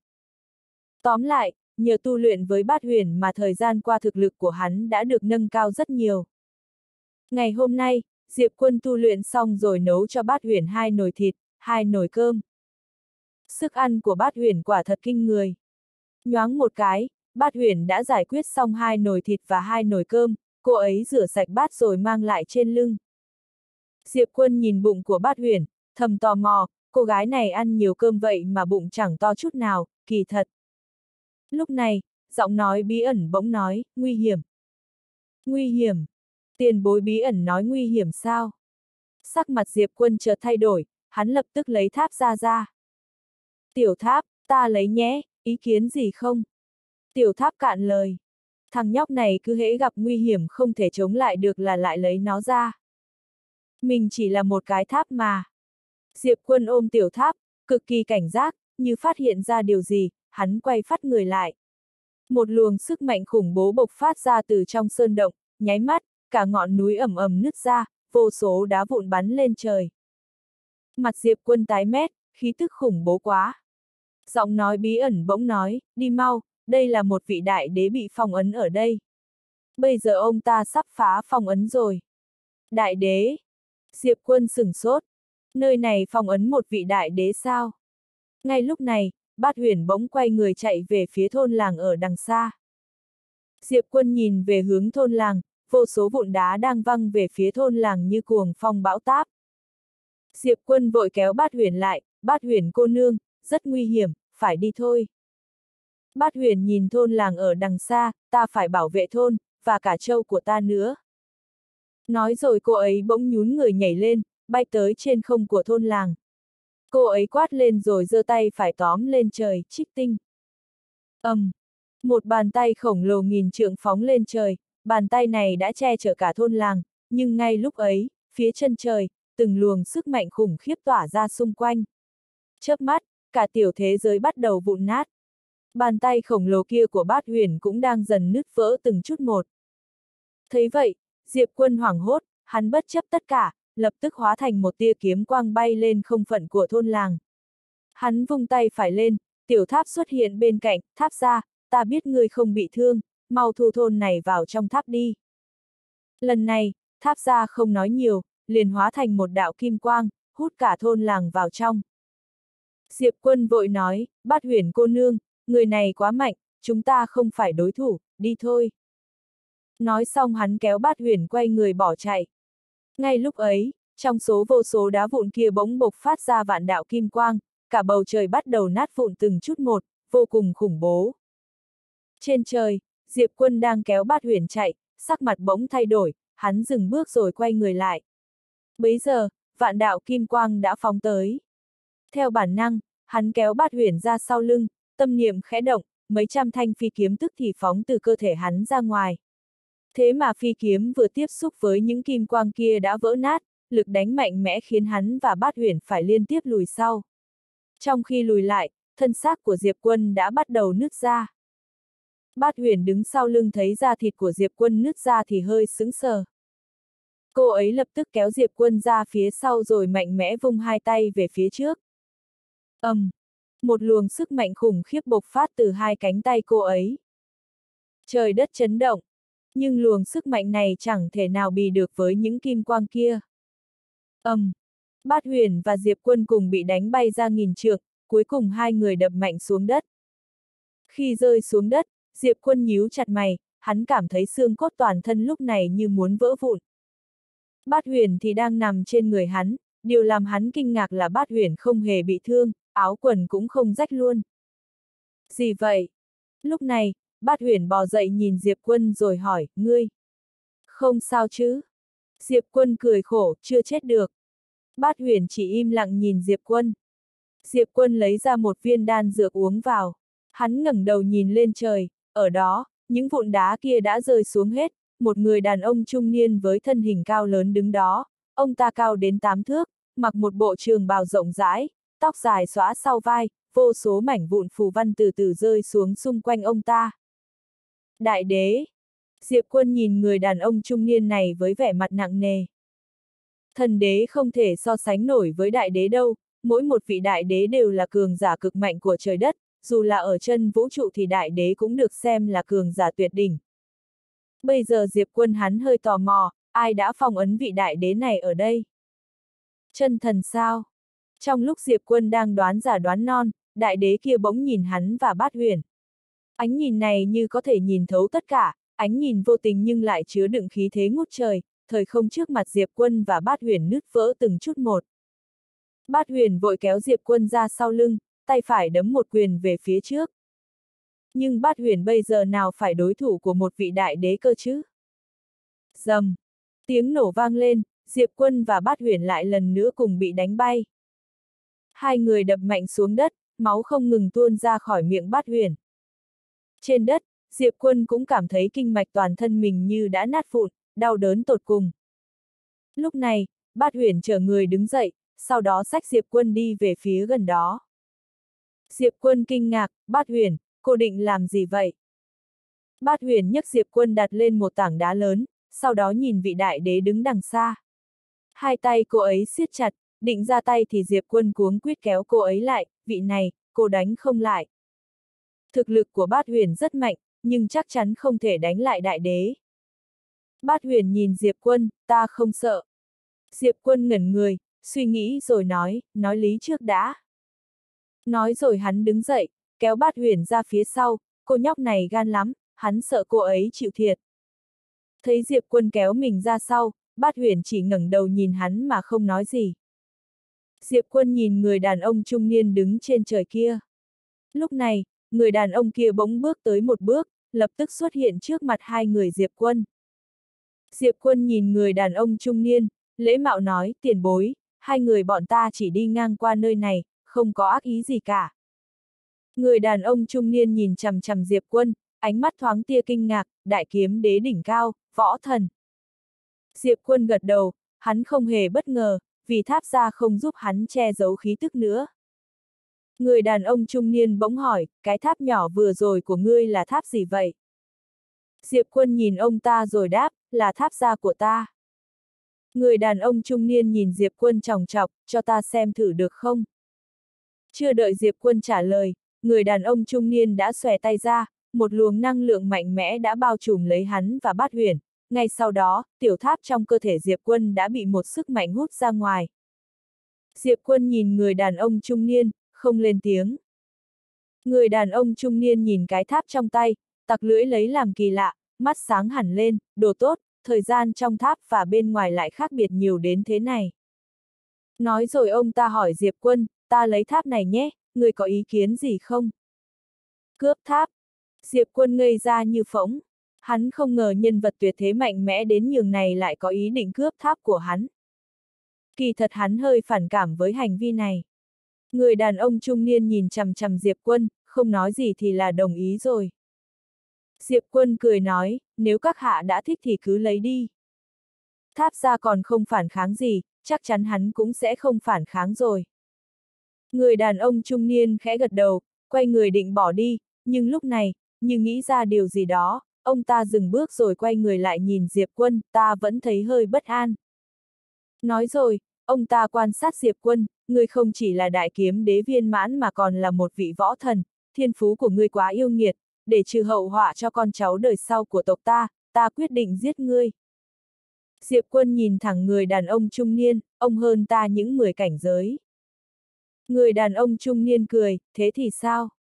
Diệp quân bình tĩnh nói, mẹ ta nói rồi, trong vòng 10 cảnh giới thì ta tự đánh, từ 10 cảnh giới trở lên thì cô cô của ta sẽ đánh. Tiểu tháp đơ mặt ra. Không phải là cha mẹ đánh à? Sao ngươi lại sửa lời? Ha ha! Người đàn ông trung niên bỗng bật cười, lúc ta 30 tuổi đã vô địch thời đại đó, ngoài chân vũ trụ, ta vô địch ở chư thiên vạn giới. Chàng trai trẻ, người thấy cô cô của ngươi có đánh lại ta không? Diệp quân nhìn người đàn ông trung niên, thản nhiên nói, tốt xấu gì ông cũng là một vị đại đế, ức hiếp một người trẻ không có gia thế hay bối cảnh như ta không thấy hơi quá đáng à. Người đàn ông trung niên cười đáp, ta cứ muốn ức hiếp ngươi đấy, ngươi làm gì được.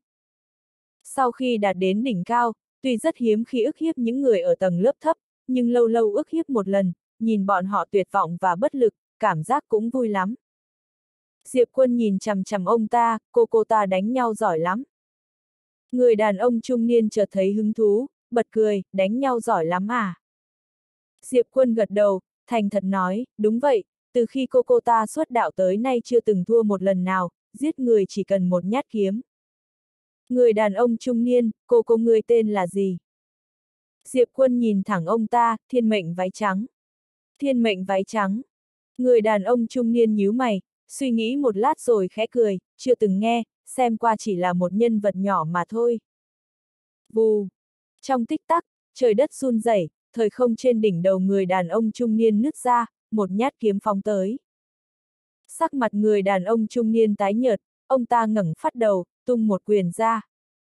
Quyền này khiến cả trời đất như trở nên mờ ảo. Nhưng một giây sau, vù, quyền thế ngút trời của người đàn ông trung niên bị đánh nát, trường kiếm phóng thẳng, cắm xuống đỉnh đầu người đàn ông trung niên. ầm, um, ông ta bị ghim tại chỗ. Nhìn thấy cảnh này, mí mắt Diệp Quân giật giật, trong lòng chấn động khôn nguôi. Rốt cuộc cô cô giỏi đánh nhau tới nhường nào. Hắn không biết. Hắn vẫn luôn đoán, nhưng hắn không ngờ, cô cô có thể giết được cả đại đế. Là đại đế đó. Sự tồn tại cùng đẳng cấp với bất khuất đại đế. Thế mà bây giờ bị giết trong nháy mắt vậy sao? Ngay giây phút này, hắn cảm thấy đại đế cũng chỉ vậy thôi. Vì sao mỗi lần cô cô ra tay mình đều thấy những người khác hệt như con sâu cái kiến vậy nhỉ? Khi phát hiện ra suy nghĩ trong đầu, Diệp Quân giật cả mình. Sắc mặt vị đại đế đứng phía trước Diệp Quân ngập tràn vẻ không tin được, ánh mắt thì càng hoảng sợ, sao có thể? Tuyệt đối không thể. Diệp Quân nhìn đại đế, thành thật nói, ta cũng thấy hơi ảo nữa. Nét mặt đại đế cứng đờ. Bát huyền kéo tay áo Diệp Quân, nghiêm túc hỏi, có phải bây giờ ông ta không cử động được nữa không? Diệp Quân gật đầu. Bát huyền bỗng xông về phía trước rồi đấm một quyền lên mặt đại đế. ầm, um, bát huyền bị đánh bật ra xa. Diệp quân ngẩn người, hắn vội chạy tới đỡ bát huyền dậy. Cô ấy nhìn cánh tay của mình rồi tỏ vẻ uất ức, đau. Ăn cơm thôi. Diệp quân đen mặt, hắn chừng bát huyền một cái rồi lấy một viên đan dược ra cho bát huyền uống. Sau đó hắn nhìn đại đế ở phía xa, ông ta cứ như bị mất hồn, lẩm bẩm mãi, không thể nào, tuyệt đối không thể. Giây phút này, tín ngưỡng của ông ta đã sụp đổ. Ông ta là đại đế cơ mà. Trong trời đất này, ngoài mấy vị cường giả đỉnh cao ở chân vũ trụ, ông ta xem thường tất cả. Mà lúc này, ông ta đã bị một đạo khí kiếm chém chết. Đối phương còn chưa lộ mặt nữa kìa. Không biết cách nhau bao nhiêu vũ trụ thế giới mà đã giết mình chỉ trong nháy mắt thế này. Không thể chấp nhận nổi. Đại đế chợt giống lên, rốt cuộc ngươi là ai? Diệp quân bỗng hỏi, tiền bối, gia tộc của ông là gia tộc nào thế? Tiểu tháp lắc đầu cười, thằng nhóc này muốn diệt cỏ tận gốc đây mà. Đại đế nhìn Diệp quân, đề phòng, người muốn làm gì? Diệp quân do dự rồi nói, nói bọn họ tới nhặt xác ông. Đại đế nhìn chằm chằm Diệp quân, hắn chân thành nói, ta không có ý gì khác đâu, ta thật sự không có ý diệt toàn tộc của ông đâu. Đại đế trầm giọng nói, cậu bạn, là ta có mắt không tròng, có thể bỏ qua chuyện này không? Mình ở thế yếu, lúc nên cúi đầu thì phải cúi đầu. Diệp quân lắc đầu, không thể. ầm, um, tia kiếm khí trong người đại đế chấn động kịch liệt, sau đó thân thể của đại đế tan thành cho bụi. Diệp quân đứng đó ngẩn người ra. Một vị đại đế tuyệt thế lại bị cô cô giết trong nháy mắt vậy sao? Không chỉ đại đế chết không nhắm mắt mà đến cả hắn cũng cảm thấy chấn động tột cùng. Giết đại đế mà như giết một con gà vậy. Rốt cuộc cô cô mạnh tới nhường nào. Diệp quân chậm chậm ngẩn đầu nhìn trời cao vời vợi, ánh mắt ngỡ ngàng. Trong tinh hà vũ trụ xa diệu vợi, một người phụ nữ mặc váy đỏ đang tĩnh lặng đứng đó, trong mắt chẳng có chút cảm xúc nào. Chư thiên vạn giới. Không phải người thân của ta, mà gọi tên ta, đều phải chết. Rất lâu sau, Diệp Quân thu hồi ánh mắt, hắn lắc đầu cười, sau khi ra khỏi vũ trụ quan huyên hắn mới phát hiện bản thân mình nhỏ bé đến nhường nào. Cố gắng. Cha mạnh, là chuyện của cha. Cô cô mạnh, là chuyện của cô cô. Ông nội mạnh, là chuyện của ông nội. Bản thân mạnh mới là chân ái. Hình như bây giờ mình là người yếu nhất trong gia tộc của mình, thế không được, phải cố gắng mạnh hơn mới được. Lúc này, bát huyền ở bên cạnh bỗng kéo tay áo Diệp Quân, khẽ nói thôn. Nghe thế, Diệp Quân vội nhìn tiểu tháp ở gần đó, tháp ra. Tiểu tháp khẽ rung một cái, một đạo kim quang phóng ra, thôn làng lập tức xuất hiện ở gần đó. Bát huyền vội chạy về phía thôn làng. Diệp Quân cũng chạy theo, chẳng mấy chốc, hắn đã nghe thấy tiếng khóc của bát huyền. Diệp Quân sững sờ, hắn vội vàng đi tới xem, chỉ thấy bát huyền đang ôm con trâu khóc đau khổ. Trâu chết rồi à? Diệp Quân tiến tới xem, thấy trên đầu con trâu có một cái lỗ máu. Diệp Quân trầm mặc, con trâu này đã bị đá vụn kia văng trúng. Con trâu già bất hạnh quá. Bát huyền nằm trên mình trâu, nước mắt tuôn như mưa. Thấy thế, Diệp Quân do dự rồi đi tới bên cạnh bát huyền, khẽ an ủi, mong cô bớt đau lòng. Bát huyền vừa lau nước mắt vừa hỏi, thịt trâu hầm ăn ngon hay nướng ăn ngon hơn. Diệp Quân trợn tròn mắt, người cứ ngây ra như khúc gỗ. Châu, cô ấy thật sự rất yêu con châu này. Nhưng cũng thật sự muốn ăn nó. Một lúc lâu sau, bát huyền nhai một miếng thịt châu, nước mắt rơi lã chã, vừa ăn vừa nói, Châu của ta. Nó chết thảm quá, hức, thịt châu ngon. Diệp quân cho một miếng thịt châu vào miệng, khẽ gật đầu, Châu ơi, đi bình an. Châu, Một lúc lâu sau, bát huyền chôn một đống xương xuống đất. Diệp quân nhìn bát huyền, hỏi, cô có muốn đi với ta không? Bát huyền quay đầu nhìn Diệp quân với ánh mắt hơi mơ hồ, đi đâu? Diệp quân, ra bên ngoài. Bát huyền do dự, ta chưa ra ngoài bao giờ. Diệp quân cười nói, vậy vừa hay ra ngoài xem thế giới bên ngoài thế nào, cô thấy sao? Bát huyền chớp mắt, người có lo cơm không? Diệp quân cười, bao no. Bát huyền lập tức vác bát của mình lên, đi. Diệp quân cười ha ha, đi. Đoạn hắn dẫn bát huyền rời đi. Sau khi rời khỏi tiểu thế giới, trên đường đi, Diệp quân hỏi, bát huyền, cha mẹ cô đâu? Bát huyền gặm một miếng thịt rồng, không có cha mẹ. Diệp quân nhíu mày, không có à? Bát huyền gật đầu, từ nhỏ ta đã lớn lên trong thôn làng, các cụ trong làng cũng không biết cha mẹ ta là ai, chỉ biết có một ngày ta xuất hiện trước cổng thôn thôi à, sau đó ta được mọi người nuôi lớn. Nhưng sau này, bọn họ không cho ta ăn nữa. Diệp quân nhìn bát huyền, lai lịch của cô gái này không đơn giản đâu. Bát huyền lại nói, trước ngươi, cũng thường xuyên có mấy người tu luyện tới đây, chắc là để tìm báu vật, có lẽ họ tìm quyền kinh kia. Diệp quân nhìn bát huyền, thế sao cô không dẫn họ đi? Bát huyền thản nhiên nói, người ở bên ngoài các ngươi tới nhờ người khác mà không mời người ta ăn, sao người ta làm việc cho được? Diệp quân trầm mặc, không có lời nào đáp lại. Bát huyền bỗng hỏi, sao ngươi lại giúp ta cứu thôn làng? Diệp quân mỉm cười, sau đó nói, nói thế nào thì chúng ta cũng được xem là bạn bè nhỉ. Bạn bè. Bát huyền nhìn Diệp quân, hỏi, rốt cuộc ngươi có bao nhiêu thịt rồng thế? Đủ cho ta ăn không? Diệp quân bật cười, đủ, tuyệt đối đủ. Bát huyền thành thật nói, trước đây ta ăn nghèo mấy nhà rồi. Diệp quân cười nói, cô ăn không nghèo nhà ta được đâu. Bát huyền khó hiểu, sao thế? Diệp quân, mẹ ta biết cách kiếm tiền lắm. Bát huyền chớp mắt, được, mẹ ngươi chính là mẹ ta. Diệp quân sững sờ, nụ cười tắt ngúm. Một lát sau, Diệp quân đưa bát huyền tới thành chư thiên vạn giới. Trên đường phố, bát huyền tò mò nhìn quanh, ánh mắt hiếu kỳ, lần đầu tiên cô ấy thấy nhiều người thế này, thấy gì cũng lạ gì cũng hay. Suốt đường đi, Diệp quân mua cho bát huyền rất nhiều đồ, cô ấy vui lắm, cứ cười suốt. Chẳng mấy chốc, Diệp quân đã dẫn bát huyền tới một tiệm áo quần, hắn nhìn quanh rồi chỉ một bộ váy thủy mặc, lấy bộ này cho ta. Bà chủ nhìn Diệp quân, thấy hắn khí khái phi phàm, biết ngay là người có tiền, lòng thầm nhủ có khách quý tới nên vội lấy bộ đồ xuống, đưa tới trước mặt Diệp quân. Diệp quân đưa bộ váy thủy mặc kia cho bát huyền, cười nói, mặc bộ này đi. Lúc ở tiểu thế giới, hai người bị đại đế kia đánh một trận tơi bời, bộ quần áo vải của bát huyền cũng đã nhàu rách rồi.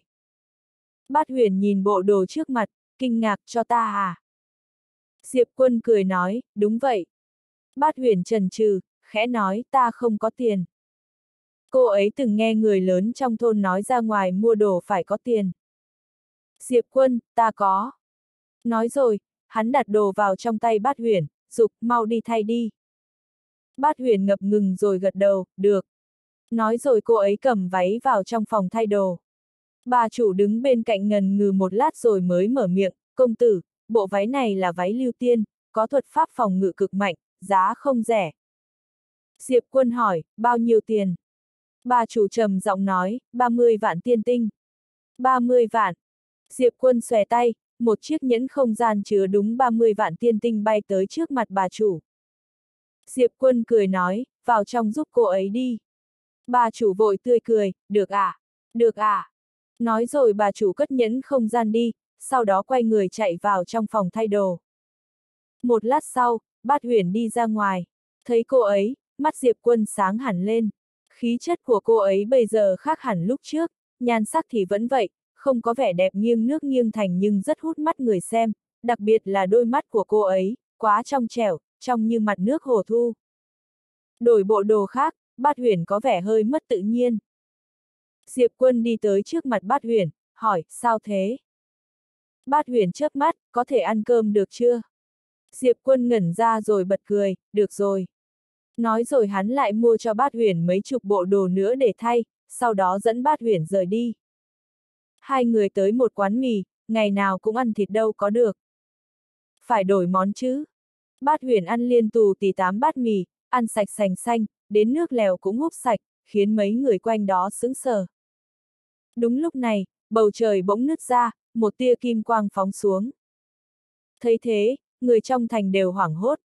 Thần linh của chân vũ trụ tới rồi. Trước quán mì, Diệp Quân ngẩng đầu nhìn trời, sau khi đạo kim quang ấy phóng xuống thì một chàng trai áo trắng chậm rãi bước từ trong đó ra. Chàng trai áo trắng kia nhìn thẳng Diệp Quân ở bên dưới, tới ứng chiến đi. Tới ứng chiến đi. Giọng nói vang vọng cả thành chư thiên vạn giới như sấm rền. Trước quán mì, Diệp Quân lấy một chiếc nhẫn không gian ra đặt lên bàn, sau đó nói, ông chủ, tiếp tục nấu mì cho cô nương này nhé, tới khi cô ấy ăn no thì thôi. Nói rồi hắn đứng dậy, bát huyền bỗng kéo tay hắn, người sắp đi đánh nhau à? Diệp quân gật đầu cười, ừ. Bát huyền nhìn chằm chằm Diệp quân, ta có thể đánh giúp ngươi. Diệp quân khẽ cười, ta tự đánh được. Hắn dẫn cô nương này ra ngoài, không phải để lợi dụng cô ấy, hắn chỉ đơn thuần cảm thấy cô nhóc này có thể đi ra bên ngoài xem thử, có lẽ cô ấy có thể đi được xa hơn. Diệp quân quay người ngự kiếm bay lên. Bát huyền vừa ăn mì, vừa nhìn chàng trai áo trắng trên trời kia với vẻ mặt chẳng mấy tốt lành. Diệp quân tới trước mặt chàng trai áo trắng, gã nhìn chằm chằm Diệp quân, thế hệ trẻ của chân vũ trụ ta đã tuyên chiến với thế hệ trẻ của vũ trụ quan huyên ngươi, ngươi yên tâm, bọn ta sẽ không ỉ lớn hiếp nhỏ, càng không cậy đông hiếp yếu. Diệp quân gật đầu, đánh luôn không? Chàng trai áo trắng gật đầu, được. Dứt lời, gã bỗng bước tới trước một bước. ầm, um, một luồng khí thế ngút trời bao trùm lấy Diệp Quân. Cảnh giới cảnh giới địa tiên. Hơn nữa còn nắm trong tay một loại vực rất mạnh. Chỉ mới tầm 20 mà đã là địa tiên, nắm trong tay một loại vực, được xem là yêu nghiệt ở cả chân vũ trụ. Thật ra, gã không nên tới đây. Vì chân thần điện đã công bố thực lực của Diệp Quân, nếu dở hết những con át chủ bài ra thì Diệp Quân có thể đấu với cả thiên tiên. Đổi một cách nó khác, chỉ có thiên tài yêu nghiệt top 20 trên bảng chân võ mới đủ tư cách tới giết Diệp Quân. Mà gã không phải là yêu nghiệt trong top 20.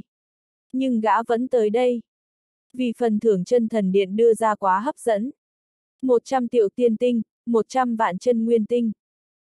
Gã không thể nào khước từ. Ngoài ra, vẫn còn một nguyên nhân nữa. Gã muốn thành danh. Diệp Quân là con trai của kiếm chủ nhân gian, nếu giết được Diệp Quân, đồng nghĩa với việc rửa được mối nhục năm xưa chân vũ trụ phải chịu. Năm xưa kiếm chủ nhân gian giết vào trong chân vũ trụ, chân vũ trụ chưa từng quên. Ba nghìn vạn năm qua, chân vũ trụ vẫn luôn đánh với vũ trụ quan huyên, chính là để một ngày nào đó có thể diệt sạch vũ trụ quan huyên, rửa mối nhục năm đó.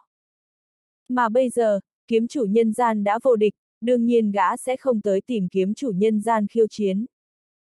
Đánh không lại cha thì đánh con cũng được chứ nhỉ. Lúc này, Diệp quân bỗng biến mất. Vù. Thời không nứt ra. 30 nhát kiếm. Quan trọng nhất là, nhát kiếm này của Diệp quân còn dùng cả kiếm ý vô địch. Một thanh kiếm trực tiếp phá vỡ thế và vực của chàng trai áo trắng kia. Thấy thế, đồng tử của chàng trai áo trắng rút lại, một giây sau. ầm, um, trong sự chứng kiến của người dân toàn thành, chàng trai áo trắng kia bay thẳng ra ngoài, trong lúc bay đi, thân xác và linh hồn của gã vụn vỡ từng chút một. xiết trong một nhát kiếm. Tất cả mọi người đều chấn động. Nhưng ngay lúc này, linh hồn đã vụn vỡ của chàng trai áo trắng kia bắt đầu ngưng tụ lại. Áp chế duy độ. Thần linh ở duy độ cao sẽ không chết ở thế giới có duy độ thấp hơn, vì bản thể của bọn họ không thuộc về nơi này. Thấy vậy, Diệp quân nhíu mày. Đương nhiên hắn biết những thần linh này rất khó giết, khi ở chiến trường hư chân, nhờ tháp thông thiên, hắn mới có thể giết chết những thần linh kia. Rất nhanh, linh hồn của chàng trai áo trắng kia đã khôi phục lại, gã nhìn Diệp quân, cười khẩy, ngươi không giết được ta đâu. Diệp quân hỏi, thử lại lần nữa không? Chàng trai áo trắng cười phì, mời. Diệp quân gật đầu, hắn bỗng biến mất, lần này chàng trai áo trắng kia cũng không phòng ngự.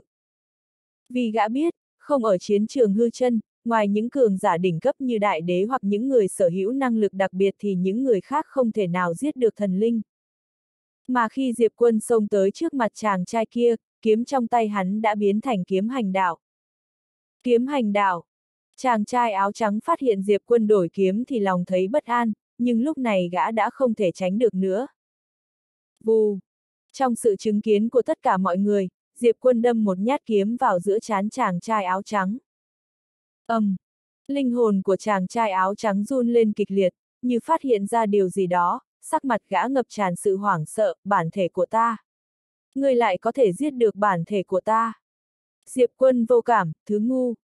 Chàng trai áo trắng. Chàng trai áo trắng tan biến trong nháy mắt. Lần này, gã không thể khôi phục được nữa. Diệp quân cúi đầu nhìn kiếm hành đạo trong tay, vẻ mặt nghiêm trọng. Thanh kiếm này mạnh quá. Như sực nhớ tới điều gì, Diệp quân bỗng quay đầu nhìn bát huyền bên dưới, lúc này, trước mặt bát huyền trồng một chồng 30 cái bát lớn thật cao.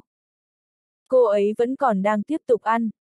Nhưng thỉnh thoảng cô ấy cũng ngẩng đầu lên trời nhìn Diệp quân. Nhìn thấy bát huyền đang ăn hùng hục, Diệp quân lắc đầu cười. Lúc này, thời không trước mặt Diệp quân nứt ra, một ông lão bước ra ngoài, ông lão khom người thật sâu hành lễ với Diệp quân, thiếu chủ, chiến trường hư chân xảy ra chuyện rồi. Mong thiếu chủ lập tức trở về. Xảy ra chuyện rồi. Sắc mặt Diệp quân bỗng trở nên nặng nề. Chiến trường hư chân. Từ sau khi chân vũ trụ bắt đầu khai chiến toàn diện với thế hệ trẻ của vũ trụ quan huyên thì một thông đạo dịch chuyển màu vàng đã được nối vĩnh viễn tới chiến trường hư chân. Mà ở chân vũ trụ, mỗi ngày đều có thiên tài nối gót nhau vào trong thông đạo dịch chuyển này. 100 triệu linh nguyên và 100 vạn chân nguyên tinh. Đây là sự cám dỗ mà không ai từ chối được. Tuy ở chân vũ trụ được tu luyện miễn phí, nhưng đó chỉ là thời gian đầu, mỗi tháng họ đều nhận được một lượng linh nguyên nhất định, nhưng không nhiều, chỉ đủ duy trì tu luyện thường ngày thôi. Thế nên phần thưởng chân thần điện đưa ra cực kỳ mê hoặc. Quan trọng nhất là lần này cấp cao của chân thần điện trực tiếp tuyên chiến với vũ trụ quan huyên. Lần này, chân vũ trụ không thể thua. Nếu không giết hết thế hệ trẻ của vũ trụ quan huyên thì sau này chư thiên vạn giới và những vũ trụ lớn sẽ theo đó phản kháng, cho rằng chân vũ trụ đã mất huy rồi. Vậy sao được? Thế nên, sau khi chân vũ trụ chính thức tuyên chiến, thiên tài yêu nghiệt của chân vũ trụ đều vội vã nối gót nhau kéo tới vũ trụ quan huyên. Sau khi nhận được tin này, cả những thiên tài yêu nghiệt không thuộc chân vũ trụ cũng đều lập tức kéo tới. Chiến quan huyên Tại chiến trường hư chân, một chàng trai mặc áo bảo đen đứng giữa hư không, hai tay y giấu trong áo bảo rộng rãi, sấm sét chớp lóa xung quanh người y, sấm sét khiến khu vực chỗ y đứng chấn động. Diệp Khải Từ lúc Diệp quân rời đi, Diệp Khải đã thống lĩnh thiên tài yêu nghiệt của vũ trụ quan huyên chiến đấu với chân vũ trụ. Mấy tháng qua, Diệp Khải chìm trong chiến đấu điên cuồng, thực lực cũng được nâng cao đáng kể. Y bây giờ đã đạt đến cảnh giới nhân tiên. Không chỉ vậy, Y còn nắm giữ 9 loại pháp tắc. Vốn dĩ Y chỉ nắm giữ 5 loại pháp tắc, bốn loại pháp tắc còn lại là do Thư viện Quan Huyên tìm về giúp Y. Đương nhiên Thư viện Quan Huyên sẽ không bạc đãi với huynh đệ của Diệp Quân. Công pháp, võ kỹ, tài nguyên tu luyện, cần gì có nấy. Diệp Khải sau khi nắm giữ đủ 9 loại pháp tắc, thực lực có một bước tiến cực lớn, đặc biệt là trong mấy tháng gần đây, y điên cuồng đại chiến, thực lực cá nhân tăng chóng mặt. Ngoài Diệp Khải, thế hệ trẻ của vũ trụ quan huyên, bao gồm cả Tào Bạch và mấy người Diệp Quan chỉ đều có được sự giúp đỡ rất lớn từ vũ trụ quan huyên và tiên bảo các. Trong lúc chân vũ trụ không ngừng chiêu mộ thiên tài tới chiến trường hư chân, vũ trụ quan huyên cũng đã phát lệnh triệu tập. Tất cả thiên tài của vũ trụ quan huyên đều đã tập trung đến chiến trường hư chân. Vũ trụ quan huyên cũng bắt đầu dốc toàn lực bồi dưỡng những thiên tài yêu nghiệt của thế hệ trẻ. Thật ra trước đây cũng đang bồi dưỡng, đám mộ thiên đạo nhận truyền nhân cũng là để bồi dưỡng thiên tài yêu nghiệt, chỉ khác một điều là bây giờ bồi dưỡng với cường độ cao hơn. Bây giờ là đang dốc toàn lực bồi dưỡng. Cũng may có tiền bảo các giúp đỡ rất nhiều, nếu không tài lực của mình thư viện quan huyên sẽ không chống đỡ nổi. Sau lưng Diệp Khải là đám người Tào Bạch. Thiên tài yêu nghiệt nhất của thế hệ trẻ vũ trụ quan huyên đã tụ tập hết ở đây. Diệp Khải dẫn đầu nhìn thông đạo màu vàng ở phía xa với ánh mắt lãnh đạm. Trước thông đạo màu vàng đó là mấy trăm thiên tài thần linh. Những thiên tài này đang nhìn đám Diệp Khải với vẻ mặt nặng nề. Hai bên đã từng đánh nhau, sau khi đánh nhau, bọn họ mới phát hiện thế hệ trẻ của vũ trụ quan huyên đúng là rất mạnh. Lúc này, trên thông đạo màu vàng kia, một chàng trai chậm rãi bước ra. Mọi người đều nhìn về phía chàng trai kia, hắn ta mặc một bộ trường sam bó người màu tím, tóc dài buộc lên cao, mày kiếm mắt sáng, khí khái hào hùng. Hắn ta cầm một thanh trường đao trên tay trái, đao dài ba thước, chùi đao được nhiều sợi tơ bạc quấn quanh. Hắn ta chậm rãi bước đi, khí tức tỏa ra làm thời không gợn sóng. Là dung nhược. Có thiên tài thần linh hô lên, đứng thứ 20 trên bảng chân võ. Bảng chân võ. Lời này vừa dứt, bầu không khí huyên náo hẳn lên. Bảng chân võ là bảng có chất lượng cao nhất của chân vũ trụ, có thể nói, bảng này đại diện cho tiêu chuẩn thế hệ trẻ của chân vũ trụ. Chân vũ trụ rộng lớn bao la, có vô số giới và tinh vực, người có thể được đề tên trên bảng này đều là yêu nghiệt trong số yêu nghiệt, thiên tài trong số thiên tài. Ví như dung nhược này, chỉ mới 19 mà đã đạt đến cảnh giới địa tiên. Quan trọng nhất là, hắn ta từng vượt ba cấp, đánh bại một vị trí tiên. Vị trí tiên này không phải nhân vật bình thường đâu, chính là yêu nghiệt siêu cấp đứng thứ 20 trước đó của bảng chân võ. Mà vị yêu nghiệt siêu cấp này mới vừa 20 tuổi đã đạt được đến trí tiên khủng bố đến nhường nào. Mà thiên tài kiểu này cũng có thể chiến đấu vượt cấp. Thế mà Dung Nhược lại vượt ba cấp chiến thắng gã. Trận chiến đó khiến Dung Nhược nổi danh.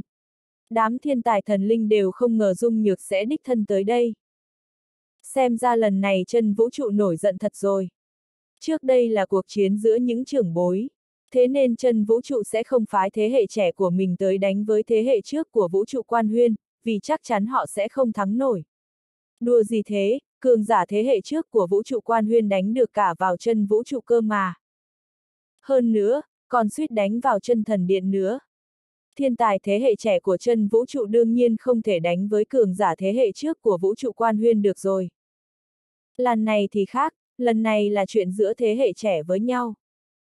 Thế hệ trước không nhúng tay vào. Thế hệ trước đã không nhúng tay thì chắc chắn thế hệ trẻ của chân vũ trụ sẽ đứng ra. Hắn là bản thể đấy. Đúng lúc này, lại có một thần linh kinh ngạc thốt lên. Bản thể. Nghe thế, các thần linh đều tỏ vẻ khó tin. Bản thể đích thân tới. Đa số trong bọn họ đều dùng phân thân tới đây, tuy ở đây có tháp thông thiên, nhưng khi thấy không ổn là có thể lập tức chạy trốn, đồng nghĩa có thêm một cái mạng nữa, đặc biệt là khi đối đầu với thế hệ trẻ của vũ trụ quan huyên, chỉ cần bọn họ muốn chạy trốn, chắc chắn có thể chạy trốn được bản thể đích thân tới nghĩa là, thua sẽ chết thật. Tất cả thần linh đều không ngờ, dung nhược này tới đây bằng bản thể. Bên vũ trụ quan huyên, đám tào bạch cũng không ngờ chàng trai thần linh áo tím này lại tới đây bằng bản thể. Sức mạnh của đám tào bạch đều trở nên nặng nề. Bọn họ biết, thiên tài yêu nghiệt chân chính tới rồi. Diệp Khải dẫn đầu nhìn Dung Nhược kia với vẻ mặt bình thản. Dung Nhược chậm rãi bước về phía Diệp Khải, ánh mắt hắn ta vẫn luôn dính trên người Diệp Khải. Rất nhanh, hắn ta đã tới cách Diệp Khải trăm trượng, không phí bất kỳ lời nào, hắn ta bất chợt xông về phía trước. Đao tuốt khỏi vỏ. Vù. Trong sự chứng kiến của tất cả mọi người, thời không trăm trượng ầm ầm nứt vỡ, hóa thành vô số mảnh vụn. Trước mặt Diệp Khải, một thanh đao xé gió lao tới. Diệp Khải nheo hai mắt, một tia chớp xuất hiện giữa chán. ầm, um, tiếng nổ đinh tai nhức óc vang lên, trời đất chấn động. Thịch, một mảng sấm sét vỡ nát trước mặt Diệp Khải, sau đó một luồng sức mạnh khủng bố đánh Diệp Khải bay ra trăm trượng, y còn chưa dừng lại thì một nhát đao nữa đã phóng tới. Vù! Nhát đao này mang theo sức mạnh vạn quân, nhát đao chém tới như có thể chém vỡ đất trời, vô cùng bá đạo. Nhìn thấy nhát đao này chém tới, Diệp Khải nheo mắt, ánh mắt nghiêm trọng. Đao tu này là đối thủ mạnh nhất xưa giờ của y. Không dám lơ là, Diệp Khải siết chặt hai tay, một tia chớp bộc phát từ trong cơ thể y. Dầm! Tia chớp này đã cản được nhát đao của Dung Nhược. Nhưng sức mạnh cả hai bộc phát ra đã nghiền vỡ mảng thời không chỗ hai người đang đứng. Đương nhiên, thời không ở đây chẳng mấy chốc đã được khôi phục. Thiên đạo ở đây không nhàn rỗi bao giờ. Lão đại mộ thiên đạo còn đang đứng trong bóng tối cơ mà. Không những thế, linh tổ cũng ở đây. Phải thể hiện cho tốt mới được, thế nên thời không vừa vỡ vụn là thiên đạo đã lập tức sửa chữa. Đúng lúc này, Dung Nhược bỗng xông lên trước, tay phải đẩy mạnh vào sống đao.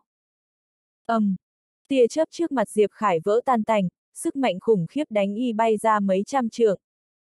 Lúc Diệp Khải bay ra, Dung Nhược đã bước tới một bước, chớp mắt đã đánh tới trước mặt Diệp Khải, một nhát đao mang theo uy lực thiên địa mạnh mẽ bổ xuống đỉnh đầu Diệp Khải. ầm, um, đao đến, thế như trẻ tre. Ánh mắt Diệp Khải lạnh lùng, y gào lên, hai tay hợp làm hình chữ thập, một tia chớp và một ngọn lửa phun trào từ trong người y ra. ầm, um, hai luồng sức mạnh khủng bố ép sung nhược kia phải liên tục lùi sau ra trăm trượng. Lúc này, Diệp Khải dẫm mạnh chân phải, quát lên, tới đi. ầm, um, một đạo pháp ấn màu vàng xuất hiện giữa chán Diệp Khải, trong tích tắc, từng luồng sức mạnh mặt đất từ sâu trong lòng đất phóng thẳng lên trời, xé nát thời không, đánh thẳng về phía dung nhược kia.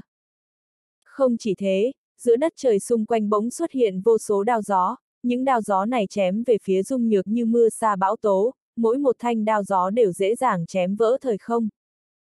Lúc này, dung nhược nhíu mày, hắn cầm đao quét ngang một đường. Vù! Đao mang nghìn trượng lóe sáng.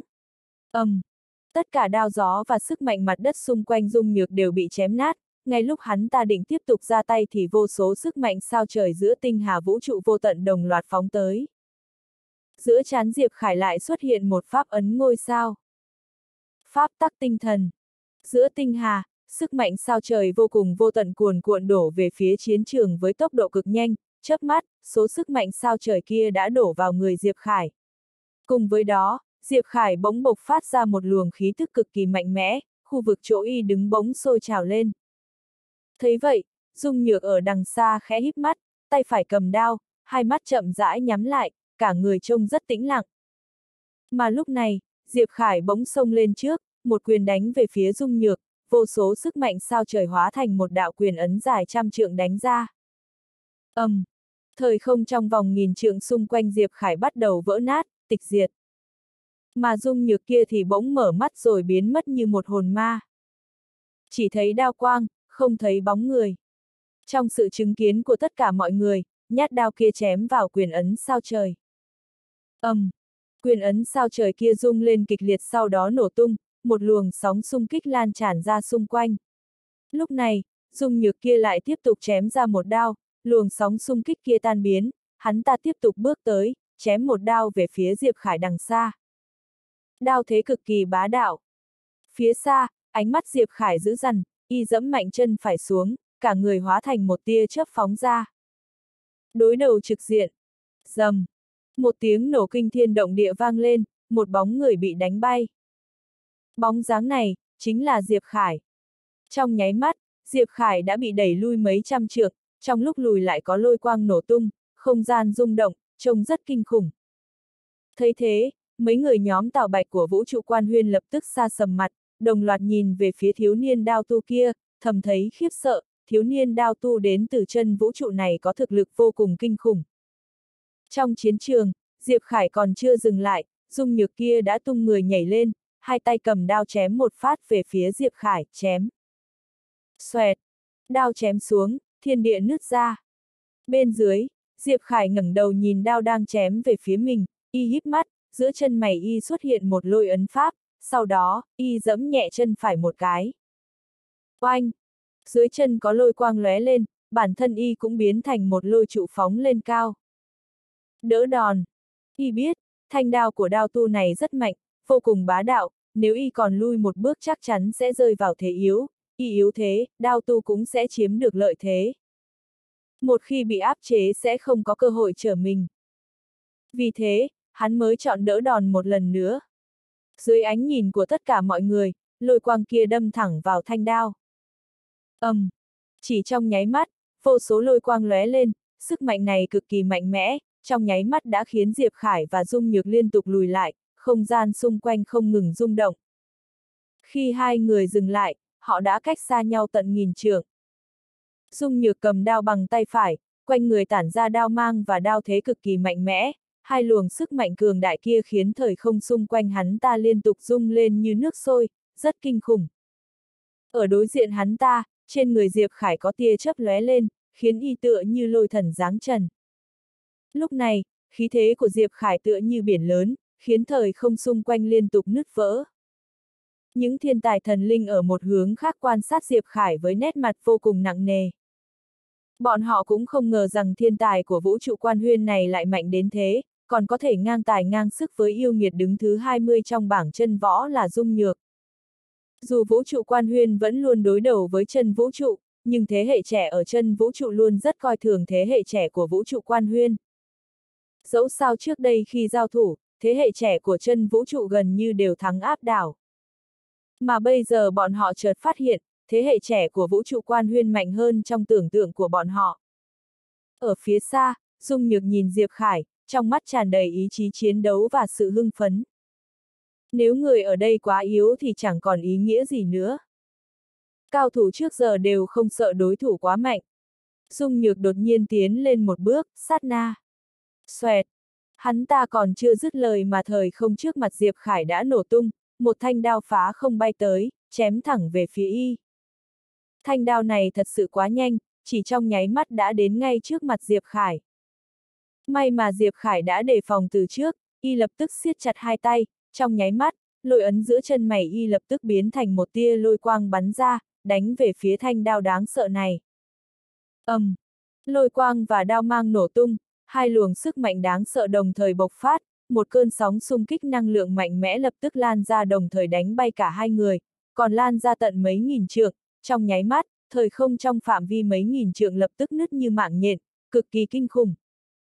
Sau khi dừng lại, khóe miệng Diệp Khải có một dòng máu tươi chậm rãi chảy xuống, chẳng những thế, hai cánh tay của y cũng đều nứt ra, máu tươi không ngừng tuôn rơi. Khóe miệng dung nhược cũng có một dòng máu chảy xuống. Trong lần so chiêu vừa rồi, hai người đều bị thương. Dung nhược lau đi máu tươi trên khóe miệng, hắn ta cười khẽ một tiếng, sau đó nhìn về phía Diệp Khải, rồi đột nhiên dẫm chân phải một cái. Vụt! Trong nháy mắt, xung quanh xuất hiện vô số tàn ảnh. Diệp Khải ở phía xa híp mắt lại, y chắp hai tay. Oanh! Một pháp tướng lôi thân nghìn trượng đột nhiên xuất hiện trên đầu y, ngay sau đó, pháp tướng lôi thân nghìn trượng kia chợt đánh một quyền về phía trước. ầm, um, Một quyền đánh xuống, vô số lôi quang dâng trào như nước lũ, thời không trong phạm vi mấy trăm nghìn trượng đều sôi trào, sau đó nứt ra. Oanh! Một vùng đao mang vỡ tan, dung nhược kia bị đánh bay tận mấy trăm nghìn trượng. Nhìn thấy cảnh này, sắc mặt của những thiên tài thần linh xung quanh lập tức trở nên nặng nề. Mà ngay lúc này, Diệp Khải đột nhiên hét lên lần nữa, giết. Oanh! Pháp tướng lôi thân nghìn trượng kia đột nhiên gào thét, hai cánh tay đập mạnh về phía dung nhược.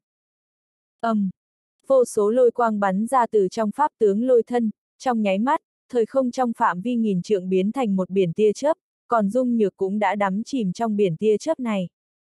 Thấy cảnh đó, mấy thiếu niên thần linh lập tức thấy thấp thỏm lo âu. Bọn họ nhìn chằm chằm vào biển tia chớp. Xoẹt! Đúng lúc này, một tia đao quang bay ra từ trong biển. Chính là Dung Nhược. Sau khi bay ra ngoài, Dung Nhược xoay người vung mạnh đao, những tia đao khí liên tục được chém ra, trong nháy mắt, biển tia chớp kia đã vỡ tan tành. Thấy cảnh này, Diệp Khải híp mắt, y mở hai tay, trong tay phải của y có một pháp ấn ngôi sao lặng lẽ xuất hiện, mà trong tay phải của y cũng chậm rãi có một hỏa ấn ngưng tụ. Giữa chân mày của y cũng có sáu loại pháp ấn thay phiên nhau xuất hiện. Thấy cảnh này, sắc mặt tất cả mọi người xung quanh đều trở nên nặng nề. Pháp tắc. Đây không phải pháp tắc bình thường, đây là chín pháp tắc mà chủ nhân bút đại đạo sáng lập ra năm đó, đại diện cho chín sức mạnh trật tự trong thiên địa. Mà lúc này, Diệp Khải lại đang nắm giữ chín pháp tắc đó. Dung nhược phía xa chợt chậm rãi nhắm mắt lại, tay phải hắn ta siết chặt lấy cán đao, cơ thể chợt trở nên như ẩn như hiện. Có thần linh hét lên, hắn ta muốn sử dụng kỹ năng nổi tiếng của mình, nhất mộng thiên nhất. Người này vừa nói xong, dung nhược kia đã biến mất khỏi vị trí ban đầu. ầm ầm ầm ầm. Trong nháy mắt, thời không ở bốn phía xung quanh Diệp Khải nổ tung, sau đó, bốn tia đao khí dài nghìn trượng chém ra từ bốn phía. Thấy cảnh này, Diệp Khải híp mắt lại, y siết chặt tay phải, pháp tướng lôi thân nghìn trượng sau lưng y chợt hét to, nó siết chặt hai tay, sau đó đánh mạnh về phía trước, trong nháy mắt, hàng vạn hàng nghìn lôi quang bay ra từ trong cơ thể của y. ầm, um, Trên chiến trường có những tia đao khí phá không bay ra từ bốn phía xung quanh Diệp Khải, sau đó chém về phía khu vực lôi quang mà Diệp Khải đang đứng. Oanh! Có thể chết nhưng không thể chịu thua. Trong hư không, những tiếng nổ đinh tai nhức óc liên tục vang lên, mà mỗi khi tiếng nổ vang lên đều sẽ có vô số tia đao quang và lôi quang nổ tung, sau đó lan ra chân trời xung quanh, cực kỳ kinh khủng. Cứ thế, sau khi kéo dài khoảng nửa canh giờ, pháp tướng lôi thân nghìn trượng trên đầu Diệp Khải dần trở nên hư ảo. Nhìn thấy cảnh này, nét mặt các thiên tài của vũ trụ quan huyên dần trở nên nặng nề. Chảm! Lúc này, trong thiên địa vang lên tiếng hét của Dung Nhược. Sau tiếng hét to này, một tia đao quang chém xuống từ trên trời, nhắm thẳng vào pháp tướng lôi thân nghìn trượng hư ảo kia. Oanh! Pháp tướng lôi thân ầm ầm vỡ tan. Một bóng người liên tục lùi lại. Là Diệp Khải. Trong lúc Diệp Khải lùi lại, Dung Nhược tung người nhảy lên, chém thêm một đao về phía y. Diệp Khải đang lùi lại nhìn thấy đao quang chém tới thì trợn mắt, y dẫm chân phải, giữa chân mày có một pháp tắc thời không ngưng tụ, ngay sau đó, thời không xung quanh y nổ tung. Thời không phát nổ. ầm, um, chiến trường rung động dữ dội, sau đó, hai người đồng loạt lùi lại. Thời không phía chân trời vỡ vụn, vô số ánh đao mạnh mẽ và mảnh vụn thời không bắn ra khắp xung quanh, toàn bộ chiến trường hư không trở nên hỗn loạn. Khi Diệp Khải và Dung Nhược dừng lại, khóe miệng hai người đồng thời có máu tươi chảy xuống, hơn nữa còn ngày càng nhiều hơn, không chỉ có thế, lúc này, sắc mặt cả hai đều tái nhợt như tờ giấy. Lúc này, Dung Nhược đột nhiên vứt vỏ đao đang cầm bên tay trái đi, hắn ta đặt thanh đao bên tay phải sang tay trái, sau đó rạch nhẹ một phát. Dẹt! Lòng bàn tay rách ra, máu tươi chảy xuống, chút máu tươi này lập tức thấm vào đao của hắn ta. Cho đao ăn máu. Thấy cảnh này, sắc mặt mấy người nhóm Tào Bạch lập tức trở nên rất nặng nề.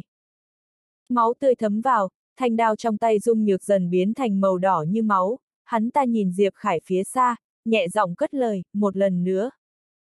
Diệp Khải nhìn Dung Nhược, ngông cuồng cười to, cứ tự nhiên. Dung Nhược gật đầu, hắn ta tiến lên một bước, đao thế đáng sợ dâng lên từ trong người hắn ta, đao thế mạnh mẽ tạo thành một khu vực bao phủ thời không trong phạm vi nghìn trường. Đao vực.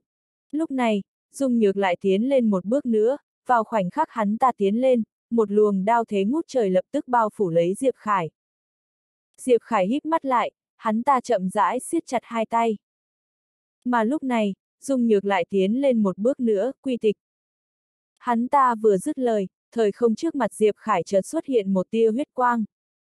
Đao chém tới. Mà lúc này, Diệp Khải đột nhiên hét lên, pháp môn. Oanh! Chín pháp tắc bay lên cao từ trong cơ thể của Diệp Khải, chỉ trong nháy mắt, một cánh cửa pháp tắc xuất hiện trên đầu y, ngay sau đó, ánh sáng của chín pháp tắc bắn ra từ trong pháp môn. Chín pháp tắc đồng loạt xuất hiện. Chiến đấu một trận cuối cùng. ầm, um, thời không trong phạm vi mấy nghìn trượng xung quanh hai người ầm ầm nổ tung. Cùng lúc đó, đao quang vỡ tan, ánh sáng của chín pháp tắc cũng thế. Oanh! Dưới ánh nhìn của tất cả mọi người, hai người ngã bay ra ngoài, trong quá trình đó, thân thể cả hai đều dần nứt ra, linh hồn biến mất với tốc độ có thể nhìn thấy bằng mắt thường. Thấy cảnh này, sắc mặt mấy thiếu niên thần linh kia thay đổi, trong đó có thiếu niên thần liên muốn đi ra giúp đỡ Dung Nhược. Mà lúc này, Dung Nhược đột nhiên giơ tay phải linh hồn hư ảo lên, ngăn cản đối phương. Cùng lúc đó, Diệp Khải cũng ngăn cản mấy người nhóm Tào Bạch muốn ra tay giúp đỡ. Dung Nhược cầm đao bằng tay phải đứng im tại chỗ, hắn ta nhắm chặt hai mắt, dù linh hồn vẫn đang biến mất, nhưng tốc độ đã chậm lại. Mà phía xa, linh hồn của Diệp Khải cũng đã được pháp ấn của y chấn áp. Lúc này, hai thiếu niên cũng đã là nỏ mạnh hết đà. Dung Nhược nhìn Diệp Khải, cháy lên. Oanh! Trong nháy mắt, linh hồn của hắn ta lập tức bốc cháy. Còn muốn tiếp tục chiến đấu. Thấy cảnh này, sắc mặt tất cả mọi người thoáng chốc thay đổi. Mà lúc này, khí thế của Dung Nhược thoáng chốc tăng vọt. Dù có chết, linh hồn có tan biến, cũng phải đánh một trận. Đối mặt với vũ trụ quan huyên, Dung Nhược hắn ta có thể chết trận, nhưng không thể chịu thua. Trong mắt Diệp Khải lóe lên sát khí, cháy lên. Oanh! Linh hồn của y cũng bắt đầu bốc cháy. Họ đều giống nhau. Đối mặt với chân vũ trụ, Diệp Khải y có thể chết trận, nhưng không thể chịu thua. Vào lúc này, hai người họ đều cùng chọn cái chết. Đều lựa chọn cái chết. Nhìn thấy cảnh này, các thiên tài của vũ trụ quan huyên và chân vũ trụ đều ngơ ngác. Họ đều không ngờ rằng đến giây phút này rồi, hai người vẫn muốn tiếp tục chiến đấu. Đốt cháy linh hồn để chiến đấu. Cuộc chiến sinh tử. Không chết không thôi. Từ khi hai người bắt đầu thiêu đốt linh hồn, khí thế vốn đã yếu ớt của cả hai bất chợt tăng vọt. Oanh! Oanh! Hai khí thế đáng sợ bay lên cao, khiến hư không chấn động, thời không bị xé rách. Dung Nhược cầm đao bằng tay phải nhìn chằm chằm Diệp Khải phía xa, sau đó, nét mặt hắn ta trở nên dữ tợn, đột nhiên biến thành một tia đao quang biến mất khỏi vị trí ban đầu. Oanh! Lúc này, dù Dung Nhược đã trở thành linh hồn yếu ớt, nhưng đao thế của hắn ta lại mạnh hơn bao giờ hết. Một đao liều mạng. Chiêu đao này như đang muốn chết. Đao thế phá không, hư không thiên địa sụp đổ. Diệp Khải ở đối diện Dung Nhược đột nhiên nhẹ giọng nói, sư phụ, ơn tình của người, có lẽ kiếp sau đệ tử sẽ trả. Dứt lời, y chợt hét to, mang theo chín pháp tắc sông lên. ầm, um, Lúc này, khí thế của Diệp Khải cũng đã đạt đến giới hạn của bản thân. Y cũng liều mạng để đánh ra đòn này. Chiến đấu. Dưới ánh nhìn của mọi người, hai người va vào nhau theo cách hung tàn nhất. Oanh! Một tiếng nổ chấn động đất trời vang vọng khắp xung quanh, sau đó, một làn sóng xung kích năng lượng đáng sợ bộc phát ra từ trong hư không, trong nháy mắt đã lan ra mấy nghìn trượng, thời không nơi nó đi qua đều sụp đổ, rất kinh khủng. Sức mạnh này vừa bộc phát đã khiến Diệp Khải và Dung Nhược lùi lại tận nghìn trượng. Hai người vừa dừng lại, linh hồn còn đang cháy lên lập tức biến mất bằng tốc độ có thể nhìn thấy bằng mắt thường. Ngay lúc này, trong đường hầm thời không màu vàng đột nhiên có một tàn ảnh bay ra. Sau đó, một thiếu niên áo trắng xuất hiện trước mặt Dung Nhược, gã mở lòng bàn tay, một hồn mộc màu đen xuất hiện, sau đó, một tia sáng đen bay ra từ trong hồn mộc, bao phủ lên linh hồn đã sắp tan biến của Dung Nhược. Cùng lúc đó, thiếu niên áo trắng lại mở một tay khác, thiên địa đột nhiên nứt ra, sau đó, một năng lượng linh hồn thần bí lập tức bay về phía gã. Chỉ cần nhìn kỹ sẽ phát hiện, những năng lượng linh hồn kia là linh hồn vừa tan đi của Dung Nhược. Mà lúc này, thiếu niên áo trắng lại có thể nghịch chuyển sinh cơ, kéo năng lượng linh hồn đã tan biến trở về. Thấy cảnh này, sắc mặt mấy người nhóm Tào Bạch lập tức trở nên rất nặng nề. Chẳng mấy chốc, linh hồn của Dung Nhược đã bắt đầu trở nên ổn định lại. Mà ở một nơi khác, có một hư ảnh bay ra từ trong cơ thể Diệp Khải. Chính là sư phụ của y. Sư phụ của Diệp Khải vung tay phải, một luồng sức mạnh khổng lồ bay vào trong cơ thể y, linh hồn vốn sắp tan biến của y lập tức ổn định lại, sau đó chậm rãi hồi phục. Thấy cảnh này, mấy người nhóm Tào Bạch bên phía vũ trụ quan huyên lập tức thở phào nhẹ nhõm. Nhìn Diệp Khải trước mặt mình, nét mặt sư phụ của y rất phức tạp, ông ta không ngờ thiếu niên trước mắt lại có khí phách như thế. Có chuyện, y thật sự dám chết. Ngoài đau lòng, ông ta thấy tự hào nhiều hơn. Trọng tình trọng nghĩa. Như nghĩ đến điều gì, sư phụ của Diệp Khải chậm rãi ngẩng đầu nhìn về phía xa, khi thấy thiếu niên áo trắng kia, sắc mặt ông ta lập tức trở nên nặng nề. Người này đúng là không đơn giản. Mà lúc này, tất cả mọi người xung quanh đều đang chú ý đến thiếu niên áo trắng. Bên phía chân vũ trụ có thiếu niên thần linh nhận ra thân phận của thiếu niên áo trắng, lập tức cất lời, ra Cát Hạo Nguyệt. Gia Cát Hạo Nguyệt. Nghe thấy lời này, sắc mặt một vài thần linh đang có mặt thoáng thay đổi. Cường giả đứng thứ 15 trên bảng chân võ. Một cổ thần thánh sư trẻ tuổi nhất đến từ chân vũ trụ. Cổ thần sư, cũng tương đương với thần thuật sư của vũ trụ quan huyên, thật ra cả hai vốn có cùng nguồn gốc từ một tông môn. Vì trước đây, vào thời đại chân thần còn chưa xuất hiện thì thần đạo là thế lực thống trị vũ trụ, cổ thần sư này chính là một nghề do chủ nhân bút đại đạo sáng tạo ra, chủ yếu tu luyện thuật pháp, cực kỳ đáng sợ. Sau khi chủ nhân bút đại đạo rời khỏi chân vũ trụ, ông ta cũng truyền bá một vài truyền thừa của mình đến vũ trụ quan huyên, trong đó cũng có thuật pháp. Ở vũ trụ quan huyên, cấp bậc của thần thuật sư được chia từ cấp 1 đến cấp 9, sau cấp chính là thần thuật sư thiên cảnh, thần thuật sư tiên cảnh, thần thuật sư thánh cảnh, thần thuật sư đế cảnh, thần thuật sư đại đế thần. Còn ở chân vũ trụ, cấp bậc của cổ thần sư được chia từ cấp 1 đến cấp 10, sau đó là cổ thần thiên sư, cổ thần pháp sư, cổ thần tiên sư, cổ thần thánh sư, cổ thần thần sư, cổ thần đế sư, đại đế cổ thần sư. Cảnh giới hai bên không khác nhau quá nhiều, nhưng sự phát triển sau đó của hai bên lại khác nhau một trời một vực. Hiện tại, Trần Vũ Trụ đang tu luyện thần pháp mà chủ nhân bút đại đạo để lại, bọn họ mượn thần pháp làm nền tảng, sáng tạo ra một hệ thống tu luyện phù hợp với thần linh. Còn bên phía vũ trụ quan huyên thì vẫn tu luyện thần pháp của chủ nhân bút đại đạo. Chính tông nhất. Về việc bên nào mạnh hơn thì phải giao thủ mới biết được. Dung Nhược chậm rãi mở mắt, khi nhìn thấy thiếu niên áo trắng, hắn ta nhẹ giọng nói, Hạo Nguyệt huynh. Gia Cát Hạo Nguyệt gật nhẹ đầu, nghỉ ngơi một lát đi, tiếp đến để bọn ta đánh. Dung Nhược im lặng, nét mặt u ám. Gia Cát Hạo Nguyệt khẽ mỉm cười an ủi, người vẫn chưa thua, cũng không khiến chân vũ trụ của chúng ta mất mặt. Dứt lời, gã mở lòng bàn tay, sau đó chỉ sang bên cạnh, linh hồn của Dung Nhược lập tức được một luồng sức mạnh dịu dàng đặt sang một bên. Dung Nhược nhìn thoáng qua Gia Cát Hạo Nguyệt, sau đó ngồi xếp bằng xuống, bắt đầu chữa thương. Gia Cát Hạo Nguyệt nhìn Diệp Khải phía xa, lúc này, linh hồn của y vẫn đang trong trạng thái hư ảo. Gia Cát Hạo Nguyệt đột nhiên quay đầu nhìn về phía mấy người nhóm Tào Bạch, sau đó nói, mời một người bước ra đánh một trận với ta. Lại đánh nhau. Lúc này, Tào Bạch dẫn đầu đám người tiến lên một bước, kiếm quang lóe sáng, sau đó, y đã xuất hiện trước mặt Gia Cát Hạo Nguyệt. Tào Bạch nhìn Gia Cát Hạo Nguyệt, ta chiến đấu với ngươi. Gia Cát Hạo Nguyệt gật đầu, được. Tào Bạch chợt chắp ngón tay chỉ về phía trước. Ong! Ba tiếng kiếm reo vang vọng, ngay sau đó, trong hộp đựng kiếm sau lưng y có ba thanh kiếm bay ra với tốc độ rất nhanh, chỉ trong nháy mắt đã chém tới trước mặt Gia Cát Hạo Nguyệt. Đối mặt với thiếu niên áo trắng này, đương nhiên là Tào Bạch không dám coi thường, vì thế, vừa mới ra tay đã sử dụng ba thanh kiếm. Dốc hết toàn lực, nhìn ba thanh phi kiếm chém tới, nét mặt Gia Cát Hạo Nguyệt vẫn rất bình tĩnh, gã đột nhiên mở lòng bàn tay, một tia thần quang bay lên cao ầm, um, Trong nháy mắt, ba thanh phi kiếm kia đã bị đánh bay. Mà ngay sau đó, một tia thần quang chợt phá không bay đi, đánh thẳng về phía Tào Bạch. Trong mắt Tào Bạch có ánh sáng lạnh lẽo lóe lên, y đột nhiên lao về phía trước, chém xuống một kiếm. ầm, um, kiếm quang vỡ tan, Tào Bạch lập tức bay xa mấy trăm trượng, vừa mới dừng lại, không gian trên đầu y chợt nứt ra, lại một tia thần quang rơi xuống.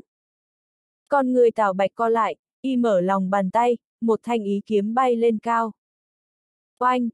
Vừa tiếp xúc với thần quang kia, thanh ý kiếm đã vỡ tan, mà ngay lúc này, ba tia thần quang đột nhiên phá không bay ra từ thời không trước mặt Tào Bạch, lao nhanh về phía y, mỗi tia thần quang để chứa đựng sức mạnh đáng sợ như hủy thiên diệt địa. Tào Bạch thầm thấy hoảng hốt, y siết chặt hai tay, trong nháy mắt, vô số kiếm quang cuộn trào ra từ trong cơ thể y. Oanh! Dưới ánh nhìn của tất cả mọi người, vô số kiếm quang vỡ tan, Tào Bạch thoáng chốc bị đánh bay mấy trăm trượng. Nhưng y vừa dừng lại, đã có một tia thần quang nữa đánh tới. Tào Bạch phung kiếm chém đi. ầm, um, kiếm quang vỡ tan, Tào Bạch lùi lại một lần nữa. Nhìn thấy cảnh này, những người của vũ trụ quan huyên đều xa sầm mặt. Tào Bạch đã hoàn toàn bị áp chế. Kiếm của y không thể chống lại sức mạnh thần quang của thiếu niên áo trắng này ầm, um, lúc này, Tào Bạch lại bị đánh bay một lần nữa, vào khoảnh khắc y bay ra xa, một tia thần quang lại theo sát phía sau. Trong mắt Tào Bạch chợt lộ vẻ dữ tợn, y không phòng thủ mà còn phản công, dẫm chân phải, biến thành một tia kiếm quang lao nhanh. Oanh! Một khí thế mạnh mẽ dâng trào từ bên trong cơ thể Tào Bạch. Vào lúc này, kiếm thế đại kiếm đế đã đạt tới đỉnh cao. ầm, um, chiêu kiếm này của Tào Bạch chém thẳng về phía thần quang kia, thần quang rung động dữ dội, sau đó nổ tung. Y lại biến thành một tia kiếm quang tấn công Gia Cát Hạo Nguyệt, mà lúc này, Gia Cát Hạo Nguyệt chợt giơ tay, nhẹ nhàng đè về phía trước. Oanh! Trong nháy mắt, thời không trước mặt gã như có một cơn sóng cuốn đi, sức mạnh không gian mạnh mẽ thoáng chốc khiến Tào Bạch bay đi mấy trăm trượng, y vừa dừng lại, đã có một tia thần quang nữa đánh tới. ầm, um, Trong nháy mắt, Tào Bạch đã lùi lại thêm mấy trăm trượng. Sau khi dừng lại, khóe miệng Tào Bạch lập tức có máu tươi chảy xuống, chẳng những thế, trước ngực y cũng có máu tươi tuôn trào, trong nháy mắt, quần áo trên người y đều bị máu tươi nhuộm đỏ. Còn ra cát hạo nguyệt kia cũng không tiếp tục ra tay, gã nhìn chằm chằm Tào Bạch, người có thể chịu thua, ta sẽ không giết ngươi. Chịu thua. Nghe thấy lời của Gia Cát Hạo Nguyệt, Tào Bạch chợt bật cười, nếu luận bàn với người ngoài, đánh không lại nên chịu thua cũng không mất mặt. Nhưng đối mặt với chân vũ trụ thì không thể như thế. Chiến đấu với chân vũ trụ, hoặc là thắng, hoặc là chết, không có thua. Tào Bạch đột nhiên cười gần, y siết chặt hai tay, một ngọn lửa đột nhiên dâng trào từ trong cơ thể của y. Đốt cháy thân thể. Nhưng vẫn chưa dừng lại ở đó. Oanh! Lại một sức mạnh đáng sợ tuôn trào từ trong cơ thể y. Đốt cháy linh hồn. Thấy cảnh này, người bên phía vũ trụ quan huyên thay đổi sắc mặt. Gia Cát Hạo Nguyệt híp mắt lại, gã vung tay áo phải, một tia thần quang bắn ra. Lúc này, Tào Bạch chợt cười to, sau đó xuất kiếm. ầm, um, kiếm chém ra, thần quang kia lập tức vỡ tan, mà ngay sau đó, một tia kiếm quang đã thoáng chốc bay đến trước mặt Gia Cát Hạo Nguyệt. Nét mặt Gia Cát Hạo Nguyệt vẫn rất bình tĩnh, gã mở lòng bàn tay, sau đó nhẹ nhàng siết chặt lại. Oanh! Trong nháy mắt, thời không trước mặt gã biến thành một bức tường thời không. ầm, um, Bức tường thời không rung động dữ dội, cũng hơi nứt ra. Mà lúc này, Tào Bạch đột nhiên gào thét, chém thêm một kiếm nữa. Oanh! Bức tường thời không chợt nổ tung, nhưng đúng lúc này, Gia Cát Hạo Nguyệt kia đột nhiên xông về phía trước, chỉ tay ra, trên đầu ngón tay có một tia thần quang xuất hiện, thoáng chốc đánh lên thân kiếm của Tào Bạch. ầm, um, kiếm trong tay Tào Bạch rung động dữ dội, luồng sức mạnh khổng lồ thoáng chốc khiến y bay ra xa. Lúc này, Gia Cát Hạo Nguyệt kia đột nhiên biến mất khỏi vị trí ban đầu. Vụt! Thời không xung quanh nổ tung, một tia thần quang thoáng chốc đánh lên người Tào Bạch. Oanh! Trong nháy mắt, Tào Bạch đã bị đánh bay gần nghìn trượng, khi dừng lại, thần thể của y đã vỡ tan, chỉ còn lại linh hồn đang cháy. Thấy cảnh này, mấy đệ tử kiếm tông lập tức muốn ra tay, mà lúc này, một tiếng hét giận dữ chợt vang lên, dừng lại. Mọi người nhìn tới nơi phát ra giọng nói, cách đó không xa, đại sư huynh Trần Quan Tử siết chặt tay phải, móng tay ghim sâu vào lòng bàn tay, y nhìn chằm chằm Tào Bạch vừa bị đánh bay ra xa, đấu tay đôi, chúng ta phải chấp nhận sẽ thua, không được nhúng tay vào. Mấy đệ tử kiếm tông im lặng không nói gì, họ nhìn về phía Tào Bạch, lúc này, linh hồn của Tào Bạch vẫn đang bị thiêu đốt. Mà ngay lúc này, hư không đột nhiên nứt ra, sau đó, một tia kiếm quang bay tới. Người đó chính là Diệp Quân vừa chạy về. Diệp Quân bay thẳng tới trước mặt Tào Bạch còn đang thiêu đốt linh hồn, nhìn y, Diệp Quân run rẩy nói, Tào Sư Huynh. Thấy Diệp Quân, Tào Bạch chợt cười tươi, xin lỗi Diệp sư đệ, ta không chiến thắng được rồi. Diệp quân lắc đầu, hắn vội vàng lấy kiếm hành đạo ra muốn chấn áp linh hồn của Tào Bạch, nhưng Tào Bạch lại nói, không cần đâu. Diệp quân nhìn về phía Tào Bạch, y cười khẽ, đừng để chân vũ trụ cảm thấy vũ trụ quan huyên chúng ta dám làm không dám chịu. Diệp sư đệ, xin lỗi, không thể cùng đệ đi tiêu diệt chân vũ trụ rồi. Thật tiếc quá. Nói xong, y siết chặt hai tay. ầm, um, linh hồn tự nổ tung, thần hồn tan biến. Trên đời sẽ không còn tào bạch đại kiếm đế nữa. Liên tục chèn ép. Thấy cảnh này, Diệp quân sững sờ như mất hồn, lúc này, đầu óc hắn trống rỗng. Trước mặt hắn chỉ còn lại ba thanh phi kiếm. Địa hỏa, thiên lôi, thần tiêu. Diệp quân nhìn ba thanh kiếm trước mắt, cơ thể hơi run rẩy. Mà bên kia, tất cả đệ tử kiếm tông đều siết chặt hai tay, nước mắt không ngừng tuôn rơi. Đại sư huynh Trần Quan Tử đứng đầu nhìn ba thanh phi kiếm phía xa với ánh mắt mở mịt, y siết chặt tay phải, người cũng đang run rẩy. Những hình ảnh trước đây xuất hiện trong đầu. Đại sư huynh, sao tay huynh lại gãy thế? Đại sư huynh, sao huynh không thích nói chuyện? Đại sư huynh, thần linh ở chân vũ trụ thật sự rất mạnh sao? Đại sư huynh, khi nào đệ mới có thể đi đến chiến trường hư chân? Đại sư huynh, những sư huynh đệ ở mộ kiếm đều là chết trận ư. Đại sư huynh, nếu có một ngày ta chết ở chiến trường hư chân thì đừng nói với cha mẹ ta, họ chỉ có một đứa con là ta thôi. Trên mặt Trần Quan Tử chợt có hai hàng chất lỏng trong suốt chậm rãi chảy xuống. Các đệ tử của kiếm tông siết chặt hai tay, nước mắt liên tục chảy xuống, đặc biệt là một vài kiếm tu trẻ tuổi vừa đến nơi này từ thư viện, trước kia, họ được tông môn bảo vệ, không cho đến chiến trường hư chân, nên họ chưa từng trải qua sinh ly tử biệt thế này. Mà chuyện lần này cũng cho họ biết, chiến tranh tàn khốc hơn trong tưởng tượng của họ rất nhiều. Các cường giả còn lại của vũ trụ quan huyên cũng đều im lặng không nói gì. Lúc này, họ mới biết 3.000 vạn năm qua, sự hòa bình của vũ trụ quan huyên đều do các tiền bối dùng mạng đổi lấy. Ở phía xa, mấy người nhóm Gia Cát Hạo Nguyệt cũng im lặng.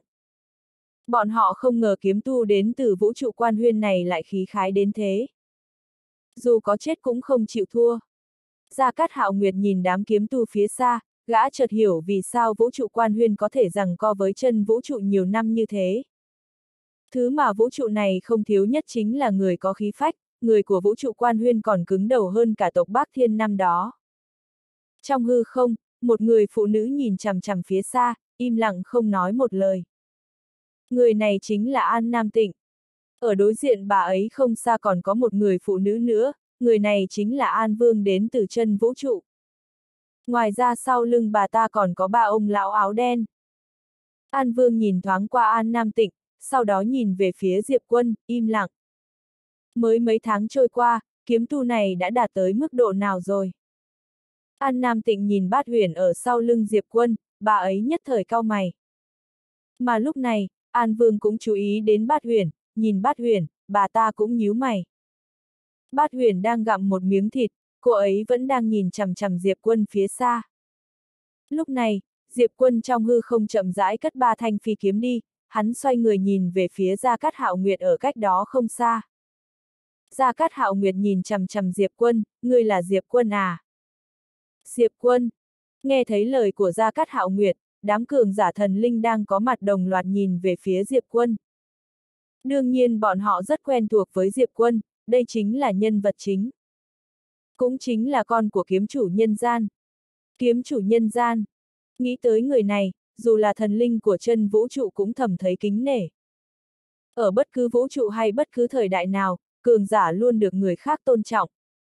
Đương nhiên tôn trọng thì tôn trọng, nhưng nếu có cơ hội, bọn họ vẫn sẽ không chút do dự tiêu diệt vũ trụ quan huyên.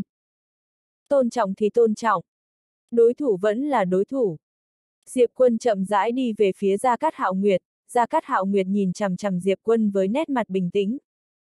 Đúng vào lúc này, Diệp quân đột nhiên biến mất. Vụt! Thời không xung quanh chợt nổ tung, một tia kiếm quang thoáng chốc đã bay tới trước mặt Gia Cát Hạo Nguyệt. Gia Cát Hạo Nguyệt híp mắt, gã mở lòng bàn tay, ba tia thần quang lập tức bay ra. ầm, um, Trong thoáng chốc, kiếm quang và thần quang bộc phát, Gia Cát Hạo Nguyệt kia cũng thoáng chốc bị đánh lui mấy trăm trượng, Khi gã dừng lại, một thanh phi kiếm đỏ như lửa đột nhiên chém tới. Phi kiếm địa hỏa. Gia Cát Hạo Nguyệt híp mắt, trong lòng không dám có chút khinh thường nào, gã tiến lên một bước, mở tay phải ra, năm tia thần quang xuất hiện rồi hội tụ lại làm một, đánh về phía thanh phi kiếm địa hỏa này. Nhưng lần này phi kiếm của Diệp Quân là 30 nhát kiếm lâm giới. ầm, um, dưới ánh nhìn của tất cả mọi người, năm tia thần quang kia vỡ tan, sau đó, một luồng sức mạnh to lớn đẩy ra Cát Hạo Nguyệt lùi lại mấy trăm trượng, không chỉ có thể, thời không nghìn trượng xung quanh gã cũng sụp đổ. Vô cùng đáng sợ. Gia Cát Hạo Nguyệt kia vừa dừng lại đã có tiếng kiếm reo vang vọng, lại một thanh phi kiếm bay tới. Địa lôi. 30 nhát kiếm. Thanh kiếm chém tới, con người Gia Cát Hạo Nguyệt chợt co lại, gã ta giơ hai tay đè xuống phía trước. Thời không trước mặt gã ta rung động dữ dội, sau đó co lại thành một bức tường thời không, sau đó sử dụng sức mạnh thời không mạnh mẽ cuồn cuộn không ngừng xung quanh để củng cố. Kiếm đến. âm. Um. Dưới ánh nhìn của mọi người, bức tường thời không kia vỡ tan, sức mạnh to lớn khiến Gia Cát Hạo Nguyệt lùi lại mấy trăm trượng nữa. Cùng lúc đó, sức mạnh khổng lồ ẩn chứa trong thanh kiếm lại khiến không gian xung quanh sụp đổ. Mà Gia Cát Hạo Nguyệt kia còn chưa dừng lại đã có một thanh kiếm khác bay tới. Thần tiêu. Thanh phi kiếm thứ ba của Tào Bạch. Thấy thanh kiếm thứ ba chém tới, con người Gia Cát Hạo Nguyệt thoáng co lại, gã đột nhiên đọc thầm một thần chú cổ xưa, trong nháy mắt, những tia thần quang liên tục tuôn ra từ trong cơ thể của gã. Cùng lúc đó, thời không xung quanh nứt ra, sức mạnh duy độ mạnh mẽ biến thành những tia sáng chém về phía Diệp Quân. Gã biết không thể chỉ phòng ngự đơn thuần, phải phòng thủ phản công. Vì kiếm của kiếm tu trước mắt thật sự quá nhanh. Cứ mãi phòng ngự bị động thì chỉ có thể chịu đòn mà thôi. Audio điện tử võ tấn bền. Hết tập 24